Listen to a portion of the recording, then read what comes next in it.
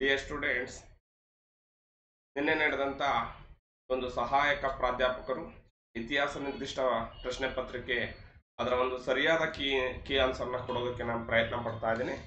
ನೂರ ಇಪ್ಪತ್ತೈದು ಪ್ರಶ್ನೆಗಳಿಗೆ ಆದಂಥ ಒಂದು ಪತ್ರಿಕೆ ಇದು. ಅದರಲ್ಲಿ ಸುಮಾರು ಒಂದು ನೂರ ಇಪ್ಪತ್ತು ಹತ್ತತ್ರ ರೈಟ್ ಆನ್ಸರ್ನ ಕೊಡೋದಕ್ಕೆ ನಾನು ಪ್ರಯತ್ನವನ್ನು ಪಟ್ಟಿದ್ದೀನಿ. ನಾನು ತುಂಬ ಸರ್ತಿ ಹೇಳ್ತಾ ಇದ್ದೆ ನಿಮಗೆ ಮುಂಚೆ ಕ್ಲಾಸ್ ಮಾಡಬೇಕಾದ್ರೆ. ಅದನ್ನು ಸ್ವಲ್ಪ ನೆಗ್ಲೆಕ್ಟ್ ಮಾಡಿರೋದು ಕೂಡ ನಿಮಗೆ ಟಫ್ ಅನಿಸಿದೆ. ಬಟ್ ಪೇಪರ್ ಟಫ್ ಇದೆ ಇಲ್ಲ ಅಂತಲ್ಲ. ಬಟ್ ನೀವೊಂದು ಹಂಡ್ರೆಡ್ ಹತ್ತತ್ರ ಮಾಡೋದ್ರಲ್ಲಿ ಏನಂತ ಕಷ್ಟ ಅನಿಸಿರ್ಲಿಲ್ಲ. ಇರಲಿ ಅದ್ರ ಬಗ್ಗೆ ನಾನು ಹೆಚ್ಚು ಜಾಸ್ತಿ ಮಾತಾಡೋಕ್ಕೆ ಹೋಗಲ್ಲ. ಸ್ಪರ್ಧಾ ವಿಕಾಸ, ಸ್ಪರ್ಧಾ, ಸ್ಪರ್ಧಾತ್ಮಕ ಪರೀಕ್ಷೆಗಳ ತರಬೇತಿ ಕೇಂದ್ರ, Yelahanka. Bengaluru new town Yelahanka new ಮತ್ತೆ ನನ್ನ ಫೋನ್ ನಂಬರ್ ಕೂಡ ಇಲ್ಲಿ ಹಾಕಿದ್ದೀನಿ. ನಿಮಗೆ ಯಾವುದೇ ರೀತಿಯಾದಂಥ ಗೊಂದಲ ಇದ್ದರೂ ಕೂಡ ನಾನು ಕೇಳ್ಬೋದು. ನಾನು ನಿಮಗೆ ಲಾಸ್ಟ್ ಕೆ ಸೆಟ್ ಪ್ರಶ್ನೆ ಪತ್ರಿಕೆ ಕೀ ಆನ್ಸರ್ ಕೊಟ್ಟಾದ್ಮೇಲೆ ನಿಮಗೆ ನಾನು ಚಿರಪರಿಚಿತ ಆದ. ಅದೇ ರೀತಿಯಲ್ಲಿ ನನ್ನ ಈ ಒಂದು ಕರ್ನಾಟಕ ಇತಿಹಾಸ ಥಿಯರಿ ಬುಕ್ ಮತ್ತು ಸಮಗ್ರ ಭಾರತದ ಇತಿಹಾಸ ಪುಸ್ತಕ ಏನಿದೆ ಪ್ರಶ್ನೋತ್ತರ ವಿವರಣಾತ್ಮಕ ಕೈಪಿಡಿ, ಇಲ್ಲಿದೆ ನೋಡಿ. ಈ ಪುಸ್ತಕದಲ್ಲಿ ನಾನು ಸುಮಾರು ಕ್ವಶನ್ಸ್ಗಳನ್ನು ನಾನು ಈ ಎಕ್ಸಾಮಲ್ಲಿ ಬಂದಿರೋದನ್ನು ತೋರಿಸ್ತೀನಿ ವಿತ್ ಪ್ರೂಫ್ ಇವತ್ತು ನಿಮಗೆ ಜಸ್ಟ್ ಕೀ ಆನ್ಸರ್ ಕೊಡೋದಕ್ಕೆ ಮಾತ್ರ ನಾನು ಬಂದಿದ್ದೀನಿ ಅಷ್ಟೇ ಯಾಕೆಂತಂದ್ರೆ ಅದಕ್ಕೆ ವಿತ್ ಪ್ರೂಫ್ ಸಮೇತ ನಾನು ನಿಮಗೆ ಕೊಡ್ತೀನಿ. ಡಿ ಟಿ ಪಿ ಅವ್ರಿಗೆ ನಾನು ವರ್ಕ್ ಕೊಟ್ಟಿದ್ದೀನಿ. ಈ ನೂರ ಇಪ್ಪತ್ತೈದು ಕ್ವಶನ್ಸ್ಗೆ ಮ್ಯಾಕ್ಸಿಮಮ್ ನೂರ ಹತ್ತತ್ತು ಕ್ವಶ್ ನೂರ ಹತ್ತು ಕ್ವಶನ್ಸ್ಗೆ ನಾನು ಡಿಸ್ಕ್ರಿಪ್ಷನ್ಸನ್ನು ಇವತ್ತು ಬರೆದಿದ್ದೀನಿ. ಅದೆಲ್ಲ ಕೂಡ ಸೋರ್ಸಸ್ಸು ಕೂಡ ಲಭ್ಯ ಇದೆ. ಅದನ್ನು ನೀವು ಶಾರ್ಟ್ಲಿ ಒಂದು ಒನ್ ಆರ್ ಟೂ ಡೇಸಲ್ಲಿ ನಾನು ಕೊಡೋದಕ್ಕೆ ಪ್ರಯತ್ನ ಮಾಡ್ತೀನಿ. ಮತ್ತು ನಾನು ನಿಮಗೆ ಎಕ್ಸ್ಟ್ರಾ ಎರಡು ವಿಡಿಯೋಗಳನ್ನು ಮಾಡಿಕೊಡ್ತೀನಿ. ಎಲ್ಲಿ ನೀವು ಎಡುತ್ತಾ ಇದ್ದೀರಾ ಅಂತಕ್ಕಂಥದ್ದನ್ನು ನಾನು ಹೇಳ್ತಾ ಹೋಗ್ತೀನಿ. ಯಾಕೆ ನೀವು ಎಕ್ಸಾಮಲ್ಲಿ ಇದು ಟಫ್ ಅನ್ನಿಸ್ತು ಅಂತಕ್ಕಂಥದ್ದಕ್ಕೆ? ನನಗೆ ಇಸ್ಟ್ರೋಗ್ರಫಿ ನಾನು ಟಚ್ ಇಲ್ಲ. ಕಾರಣ ಏನಪ್ಪ, ನಾನು ಪಿ ಜಿ ಮಾಡ್ಬೇಕಾದ್ರೆ ಮಾತ್ರ ಇಸ್ಟ್ರೋಗ್ರಫಿ ನೋಡ್ಕೊಂಡಿದ್ದು. ಅದರ್ವೈಸ್ ಅದನ್ನು ಬಿಟ್ಟು ಇನ್ನು ತೊಂಬತ್ತೆರಡು, ತೊಂಬತ್ತೈದು ಕ್ವಶನ್ಸ್ ಏನಿದೆ, ಅದರಲ್ಲಿ ಮ್ಯಾಕ್ಸಿಮಮ್ ನೀವು ಸ್ಕೋರ್ ಮಾಡ್ಬೋದಿತ್ತು. ಆದರೆ ಎಲ್ಲಿ ಎಡವಿದ್ದೀರಾ ಅಂತಕ್ಕಂಥದ್ದನ್ನು ನೋಡೋಣ. ಅದಕ್ಕೆ ನಾನು ಸಪ್ರೇಟಾಗಿ ಹೇಳ್ಕೊಡ್ತಾ ಹೋಗ್ತೀನಿ ಇನ್ನೊಂದಿನ. ಓಕೆ ಅದೇ ರೀತಿ ಕರ್ನಾಟಕ ಇತಿಹಾಸ ಬುಕ್ಕು ನಾನು ಹೇಳ್ತಾ ಇದ್ದೀನಿ, ಇದು ಜಸ್ಟ್ ಇನ್ನೂರ ನಲ್ವತ್ತೆರಡು ಪೇಜ್ ಇರ್ತಕ್ಕಂಥದ್ದು ಬುಕ್ಸ್ ಏಕೆಂದರೆ ಇದು ಫಸ್ಟ್ ಅಡಿಷನ್ ಅಮ್ಮಮ್ಮ ಅಂತ ಹುಡುಕಿದ್ರೆ ಒಂದು ಆರರಿಂದ ಏಳು ತಪ್ಪುಗಳು ಸಿಗುತ್ತೆ. ಯಾವುದೋ ಒಂದು ಸಣ್ಣ ಮಿಸ್ಟೇಕ್ ಆಗಿರ್ಬೋದು. ಅದು ದೊಡ್ಡ ಪ್ರಮಾದ ಅಲ್ಲ. ಆದರೆ ಈ ಪುಸ್ತಕದಲ್ಲಿ ಸುಮಾರು ಮೂವತ್ತು ಕ್ವಶನ್ಸ್ ನಿಯರ್ ಇನ್ನೂರ ನಲವತ್ತೆರಡು ಪೇಜಲ್ಲಿ ಇಪ್ಪತ್ತೈದರಿಂದ ಮೂವತ್ತು ಕ್ವಶನ್ ಕವರ್ ಆಗಿದೆ. ನೆಗ್ಲಿಜೆನ್ಸಿ ಬೇಡ. ಓಕೆ ನೋಡಿ ಇನ್ನೊಂದು ಹೇಳ್ತಾ ಇದ್ದೀನಿ. ಸಮಗ್ರ ಭಾರತದ ಇತಿಹಾಸ, ಪ್ರಶ್ನೋತ್ತರ ವಿವರಣಾತ್ಮಕ ಕೈಪಿಡಿ. ಇದು ನಿಮಗೆ ತುಂಬ ಯೂಸ್ಫುಲ್ ಆಗ್ತಕ್ಕಂಥದ್ದು. ಸರ್ ನನ್ನ ಹತ್ರ ಇದೆ ನಾನು ಓದಿದ್ದೀನಿ. ಓದಿದ್ದೀರಾ? ಎಲ್ಲಿ ಏನು ಕ್ವಶನ್ ಬಂದಿದೆ ಅನ್ನೋದನ್ನು ಅರ್ಥ ಮಾಡ್ಕೊಳೋದ್ರಲ್ಲಿ ಎಡವಿದ್ದೀರಾ? ಓಕೆ ಅದೇ ಕ್ವಶನ್ಸ್ ಯಾವ ರೀತಿ ಕಟ್ ಕಾಪಿ ಪೇಸ್ಟ್ ಆಗಿದೆ ಅನ್ನೋದನ್ನು ನಾನು ನಿಮಗೆ ತೋರಿಸ್ತೀನಿ ನೆಕ್ಸ್ಟ್ ವಿಡಿಯೋದಲ್ಲಿ ಓಕೆನಾ ಅದೇ ರೀತಿ ಕರ್ನಾಟಕ ಇತಿಹಾಸ, ಇದು ಅಸಿಸ್ಟೆಂಟ್ ಪ್ರೊಫೆಸರ್ ಮಾತ್ರ ಅಲ್ಲ, ಮುಂದೆ ನಿಮಗೆ ಬರ್ತಾ ಇರ್ತಕ್ಕಂಥ ಪಿ ಯು ಕಾಲೇಜ್ ಲೆಕ್ಚರರ್ ಬುಕ್ಗೆ ತುಂಬಾ ಯೂಸ್ಫುಲ್ ಆಗ್ತಕ್ಕಂಥದ್ದು. ಆಮೇಲೆ ಎಲ್ಲ ಎಕ್ಸಾಮ್ಸ್ಗಳಿಗೂ ಅಷ್ಟೇ ನಿಮಗೆ ಬೇಕೇ ಬೇಕು ಕರ್ನಾಟಕ ಇತಿಹಾಸ. ಪಿ ಸಿಯಿಂದ ಹಿಡಿದು ಅಪ್ ಟು ಕೆ ಎಸ್ ಎಕ್ಸಾಮ್ಸ್ಗಳಿಗೆ ಎಲ್ಲದಕ್ಕೂ ಕೂಡ ನಿಮಗೆ ಮೆಜಾರಿಟಿ ಕ್ವಶನ್ಸನ್ನು ಕರ್ನಾಟಕ ಇತಿಹಾಸ ಎತ್ತುತ್ತಾನೆ ಮತ್ತೆ ಪಿ ಯು ಲೆಕ್ಚರರ್ ನಿಮಗೆ ಕೆಲವೇ ತಿಂಗಳಲ್ಲಿ ನೋಟಿಫಿಕೇಶನ್ ಆಗೋದ್ರಿಂದ ಸ್ವಲ್ಪ ಗಮನ ಕೊಡಿ. ನಾನು ಹೇಳೋದನ್ನು ಫಾಲೋ ಮಾಡಿ ಓಕೆ ಫಾಲೋ ಮಾಡಿದ್ರೆ ಖಂಡಿತ ಸಕ್ಸಸ್ ಆಗೋದೇನು ಕಷ್ಟ ಅಲ್ಲ ಅಂತ ನಾನು ಹೇಳ್ತಾ ಇದ್ದೀನಿ. ಓಕೆ ಅದೇ ರೀತಿಯಲ್ಲಿ ನೋಡಿ, ಈಗ ನಮ್ಮಲ್ಲಿ ಡಿಗ್ರಿ ಕಾಲೇಜ್ ಲೆಕ್ಚರರ್ ಜೊತೆಗೆ ಜಿ ಪಿ ಎಸ್ ಟಿ ಆರ್ಗೆ ಅಂದರೆ ಹೈಯರ್ ಪ್ರೈಮರಿ ಸ್ಕೂಲ್ ಟೀಚರ್ಗೆ ತರಗತಿಗಳು ಪ್ರಾರಂಭ ಆಗಿದೆ ಇವತ್ತಿಂದ. ಜೊತೆಗೆ ಮುಂದೆ ನೋಟಿಫಿಕೇಶನ್ ಆದಮೇಲೆ ಮತ್ತೆ ಹೊಸ ಬ್ಯಾಚ್ಗಳಿರುತ್ತೆ ನೀವು ಯಾವತ್ತು ಬಂದರೂ ಕೂಡ ತರಗತಿನ ಅಟೆಂಡ್ ಮಾಡ್ಕೋಬೋದು. ಜೊತೆಗೆ ಅಡ್ಮಿಷನ್ ಕೂಡ ಮಾಡ್ಕೋಬೋದು. ಎನಿ ಟೈಮ್ ಕ್ಲಾಸಸ್ ನಡೀತಾ ಇರುತ್ತೆ. ಅಸಿಸ್ಟೆಂಟ್ ಪ್ರೊಫೆಸರ್ ಮಿಸ್ ಆಗಿದೆ ಬಟ್ ಬೇರೆಯವ್ರನ್ನ ಮಿಸ್ ಮಾಡ್ಕೋಬಾರ್ದು. ನೀವು ಮಾಡಿರೋ ತಪ್ಪು ಏನಪ್ಪ ಅಂತಂದರೆ ಗೊತ್ತಿರೋವಷ್ಟು ಕರೆಕ್ಟಾಗಿ ಅಷ್ಟೇ ಟಚ್ ಮಾಡಬೇಕು. ನಾನು ತುಂಬ ಫ್ರೆಂಡ್ಸ್ಗಳನ್ನು ಸ್ಟೂಡೆಂಟ್ಸ್ಗಳನ್ನು ಕೇಳಿದಾಗ ಕಡಿಮೆ ಗೊತ್ತಿತ್ತು, ಸರ್, ಹಂಗಾಗಿ ಹೆಂಗಿದ್ರು ಫೇಲ್ ಆಗ್ತೀನಿ ಅಂತೇಳಿ ಎಲ್ಲ ಟಚ್ ಮಾಡಿ ಬಂದೆ ಅಂದರೆ ಎಲ್ಲಕ್ಕೂ ಆನ್ಸರ್ ಮಾಡಿದೆ. ಅದು ತಪ್ಪು. ಅದನ್ನು ಯಾವ ಕಾರಣಕ್ಕೂ ಮಾಡಬಾರ್ದು. ಹತ್ತು ಕ್ವಶನ್ ಗೊತ್ತಿದೆಯಾ, ಹತ್ತನ್ನು ಮಾತ್ರ ಹಾಕ್ಬೇಕು. ಆಮೇಲೆ ನಿಮ್ಮಲ್ಲಿ, ನಮ್ಮಲ್ಲಿ ಗ್ರೂಪಲ್ಲಿ ಡಿಸ್ಕಷನ್ ಆಗ್ತಾ ಇರೋದ್ರ ಬಗ್ಗೆ ಕೂಡ ನಾನು ಮಾತಾಡ್ತೀನಿ. ಈಗ ಫಸ್ಟ್ ಕೀ ಆನ್ಸರ್ನ ನೋಡ್ಬಿಡೋಣ. ಕೀ ಆನ್ಸರ್ ನೋಡಿದ್ಮೇಲೆ ಮಧ್ಯ ನಾನು ಮಾತಾಡ್ತಾ ಹೋಗ್ತೀನಿ. ಮತ್ತೆ ಇದನ್ನು ಒಂದು ಮೂರು ಅವರ್ ನಿಮಗೆ ಈ ಈ ಒಂದು ಪತ್ರಿಕೆ ಏನಿದೆ, ಇದ್ರ ಬಗ್ಗೆ ಡಿಸ್ಕಷನ್ ಅನ್ನ ನಾನು ಶಾರ್ಟ್ಲಿ ಮಾಡ್ತೀನಿ. ಕಾರಣ ಏನಪ್ಪ ಅಂದ್ರೆ ಡಿ ಟಿ ಪಿ ಆಗಲಿ ಡಿ ಟಿ ಪಿ ಆದ ತಕ್ಷಣದಲ್ಲೇ ನಾನು ಮಾಡ್ತಾ ಹೋಗ್ತೀನಿ. ನೋಡಿ, ಇಲ್ಲಿ ನಾನು ಯಾವ ರೀತಿ ಡಿಲೀಟ್ ಮಾಡ್ತಾ ಹೋಗಿದ್ದೀನಿ ಈ ಪೇಪರ್ನ ಎತ್ಕೊಂಡು ಅಂತಕ್ಕಂಥದ್ದನ್ನು ನೋಡಿ ಡಿಲೀಟ್ ಮಾಡಿ ಅನಂತರ ಕೀ ಆನ್ಸರ್ಸನ್ನು ಅಲ್ಲಿ ಚುಕ್ಕಿ ಇಟ್ಟಿದ್ದೀನಿ. ಕೆಲವೊಂದು ಮಾತ್ರ ಮಿಸ್ಟೇಕ್ ಆಗಿರೋದು ಬಿಟ್ಟು ಇನ್ನೆಲ್ಲದೂ ಕೂಡ ಸಕ್ಸಸ್ ಆಗಿರೋದು. ಓಕೆ ಮೊದಲನೇ ಪ್ರಶ್ನೆಯನ್ನು ನೋಡೋಣ. ಆರಿನೀಕರಣದ ಪೌರಾಸ್ತ್ಯವಾದಿ ಸಿದ್ಧಾಂತದ, ಸಿದ್ಧಾಂತವನ್ನು ಈ ನಾಯಕರಲ್ಲಿ ಯಾರು ತೆಗೆದು ಹಾಕಿದರು ಆನ್ಸರ್ ಬಂದು ಡಾಕ್ಟರ್ ಬಿ ಆರ್ ಅಂಬೇಡ್ಕರ್ ಆಗಿರ್ತಾರೆ. ಸಾವಿರದ ಒಂಬೈನೂರ ಮೂವತ್ತೈದರ ಕಾಯ್ದೆ ಅಡಿಯಲ್ಲಿ ಕೆಳಗಿನ ಯಾವ ಪ್ರಾಂತ್ಯಗಳಲ್ಲಿ ಕಾಂಗ್ರೆಸ್ ಸಚಿವಾಲಯವನ್ನು ರಚಿಸಲಿಲ್ಲಪ್ಪ ಅಂತಂದ್ರೆ, ಕೇವಲ ಪಂಜಾಬಲ್ಲಿ ಮಾತ್ರ, ಅಂದ್ರೆ ಈ ನಾಲ್ಕು ಆನ್ಸರ್ ಅಲ್ಲಿ ಪಂಜಾಬಲ್ಲಿ ಮಾತ್ರ ರಚಿಸಿರ್ಲಿಲ್ಲ. ನಿಮಗೆ ಕೀ ಆನ್ಸರ್ ಕೂಡ ಉದ್ದೇಶಕ್ಕೆ ಮಾತ್ರ ನಾನು ಫಾಸ್ಟ್ ಆಗಿ ಹೋಗ್ತೀನಿ. ಅದರ್ವೈಸ್ ನಾನು ನಿಮಗೆ ಒಂದು ಮೂರ್ ಅವರ್ ಮೇಲೆ ಇದನ್ನ ವಿಡಿಯೋ ಮಾಡ್ತೀನಿ. ಮೂರು ವಿಡಿಯೋ ಅಥವಾ ಎರಡು ವಿಡಿಯೋನ ನಾನು ಮಾಡಿ ಶಾರ್ಟ್ಲಿ ಕೊಡ್ತೀನಿ. ಒಂದು ತ್ರೀ ಆರ್ ಫೋರ್ ಡೇಸಲ್ಲಿ ಕೊಡ್ತೀನಿ. ಅದಕ್ಕೆ ಪಪ್ಪ ಪಾಪ ನೀವು ಡಿಸ್ಕಷನ್ ಮಾಡ್ತಾ ಇದ್ದೀರಾ? ನಾನು ಕೆಲವು ಗ್ರೂಪಲ್ಲಿ ಇದ್ದೀನಿ. ಎಲ್ಲಿತ್ತು, ಈ ಸೋರ್ಸ್ ಹೇಗಿತ್ತು ಎಲ್ಲ. ಇನ್ನೂ ನಲವತ್ತೆರಡು ಪೇಜಲ್ಲಿ ಮೂವತ್ತು ಕ್ವಶನ್ಸ್ ಅನ್ನು ತೋರಿಸ್ತೀನಿ ಟೂ ಫಾರ್ಟಿ ಟು ಕರ್ನಾಟಕ ಇತಿಹಾಸದಲ್ಲಿ. ಓಕೆ ಅದೇ ರೀತಿಯಲ್ಲಿ ಸಮಗ್ರ ಭಾರತದ ಇತಿಹಾಸದಲ್ಲಿ ಸುಮಾರು ಒಂದು ಇಪ್ಪತ್ತೈದು, ಮೂವತ್ತು ಕ್ವಶನ್ಸ್ ರಿಪೀಟ್ ಆಗಿರೋದನ್ನ ನಾನು ತೋರಿಸ್ತೀನಿ. ಆನಂತರ ಕೆ ಎನ್ ಅಶ್ವಥಪ್ಪ ಸರ್ ಇರ್ಬೋದು.